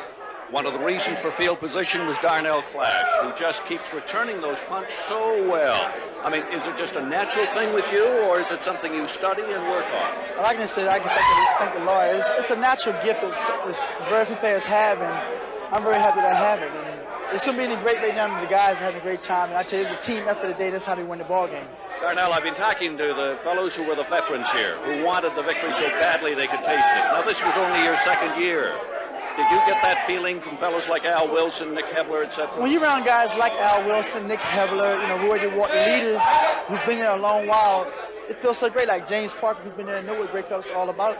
It makes you feel like me and Keith was talking about, really youngest guys on the team, and it makes you feel great. And it couldn't feel any better because this is what it's all about, winning. If it takes this much from May to come to here, I'd rather do it again and again and again. Now you know what it's like. You don't want to lose it. I'm telling you, I like to say a special hello to Karen. I love you. Take care. Darnell Clash, congratulations. Now, let's go upstairs. You know, Don, I was sitting here watching Donnie Matthews, and you've got to be so happy for him because this guy has been a head coach three years, three first place finishes, two Grey Cup appearances. He finally wins it, and you cannot be just a guy who's orchestrating great players. He has to be a great coach.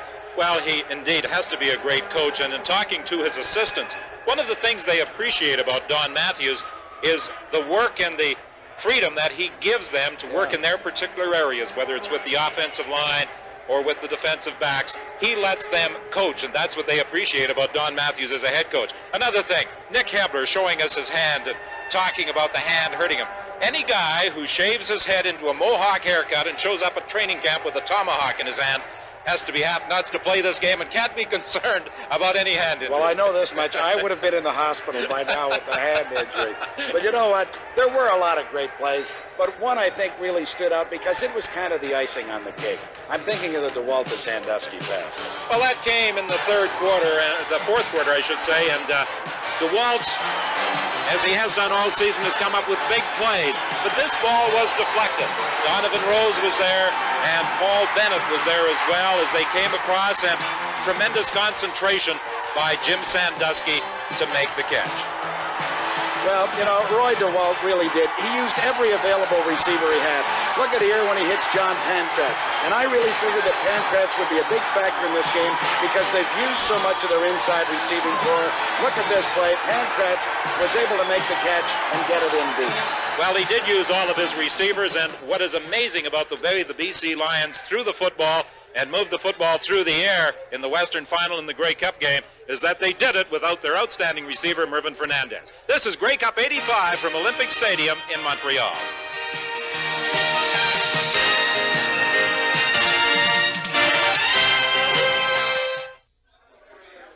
We're back live in the dressing room of the victorious BC Lions, and with me, after getting a champagne shower, is the. Premier of the province of British Columbia, the Honourable Bill Bennett. Uh, Mr. Premier, uh, I know that uh, you had very little to do with the victory out there, but I know you're going to claim some credit. Oh, I'm going to claim some credit because uh, ever since we built the BC Place Stadium, the Lions have been the strongest team in Canada, and uh, they've now proven it. And this is just the first of uh, at least three straight Grey Cups. The next two at BC Place in Vancouver. This is a great way to kick off the year, is it not? Great way to kick off Expo. Great way for uh, the Lions to show that we are champions. And I'd like to tell uh, all the people in BC, some of whom thought they would choke, that this is a strong team. They've got a lot of pride, and I'm proud of them, and, and uh, they've done a good job. Mr. Premier, thank you very much. Now let's go back upstairs to Pat. That's one of the great comments I've ever heard, and our people in Toronto are going to be happy about that. That means when we build the dome, we're going to be the best football team in Canada. Well, perhaps you do have a chance of becoming the best football team in Canada if you ever get that dome, Pat. Well, we will be under the dome for the next two Grey Cups. They take place in 86 and 87 in Vancouver, but this is 85, and the Grey Cup will reside in Vancouver for at least the next year. Now, let's go to Brian Williams. Thank you, Don Whitman. Listen, Pat Marsden, they could build 10 dome stadiums in Toronto, and I wouldn't guarantee the Toronto Argonauts would win any Grey Cups. We congratulate the Hamilton Ticats, in particular the British Columbia Lions. We talk about DeWalt, we talk about Matthews. A little man that stands so very tall on the West Coast is their general manager, Bobby Ackles. He has done a tremendous job. On behalf of everyone here, I would like to thank our technical and production people.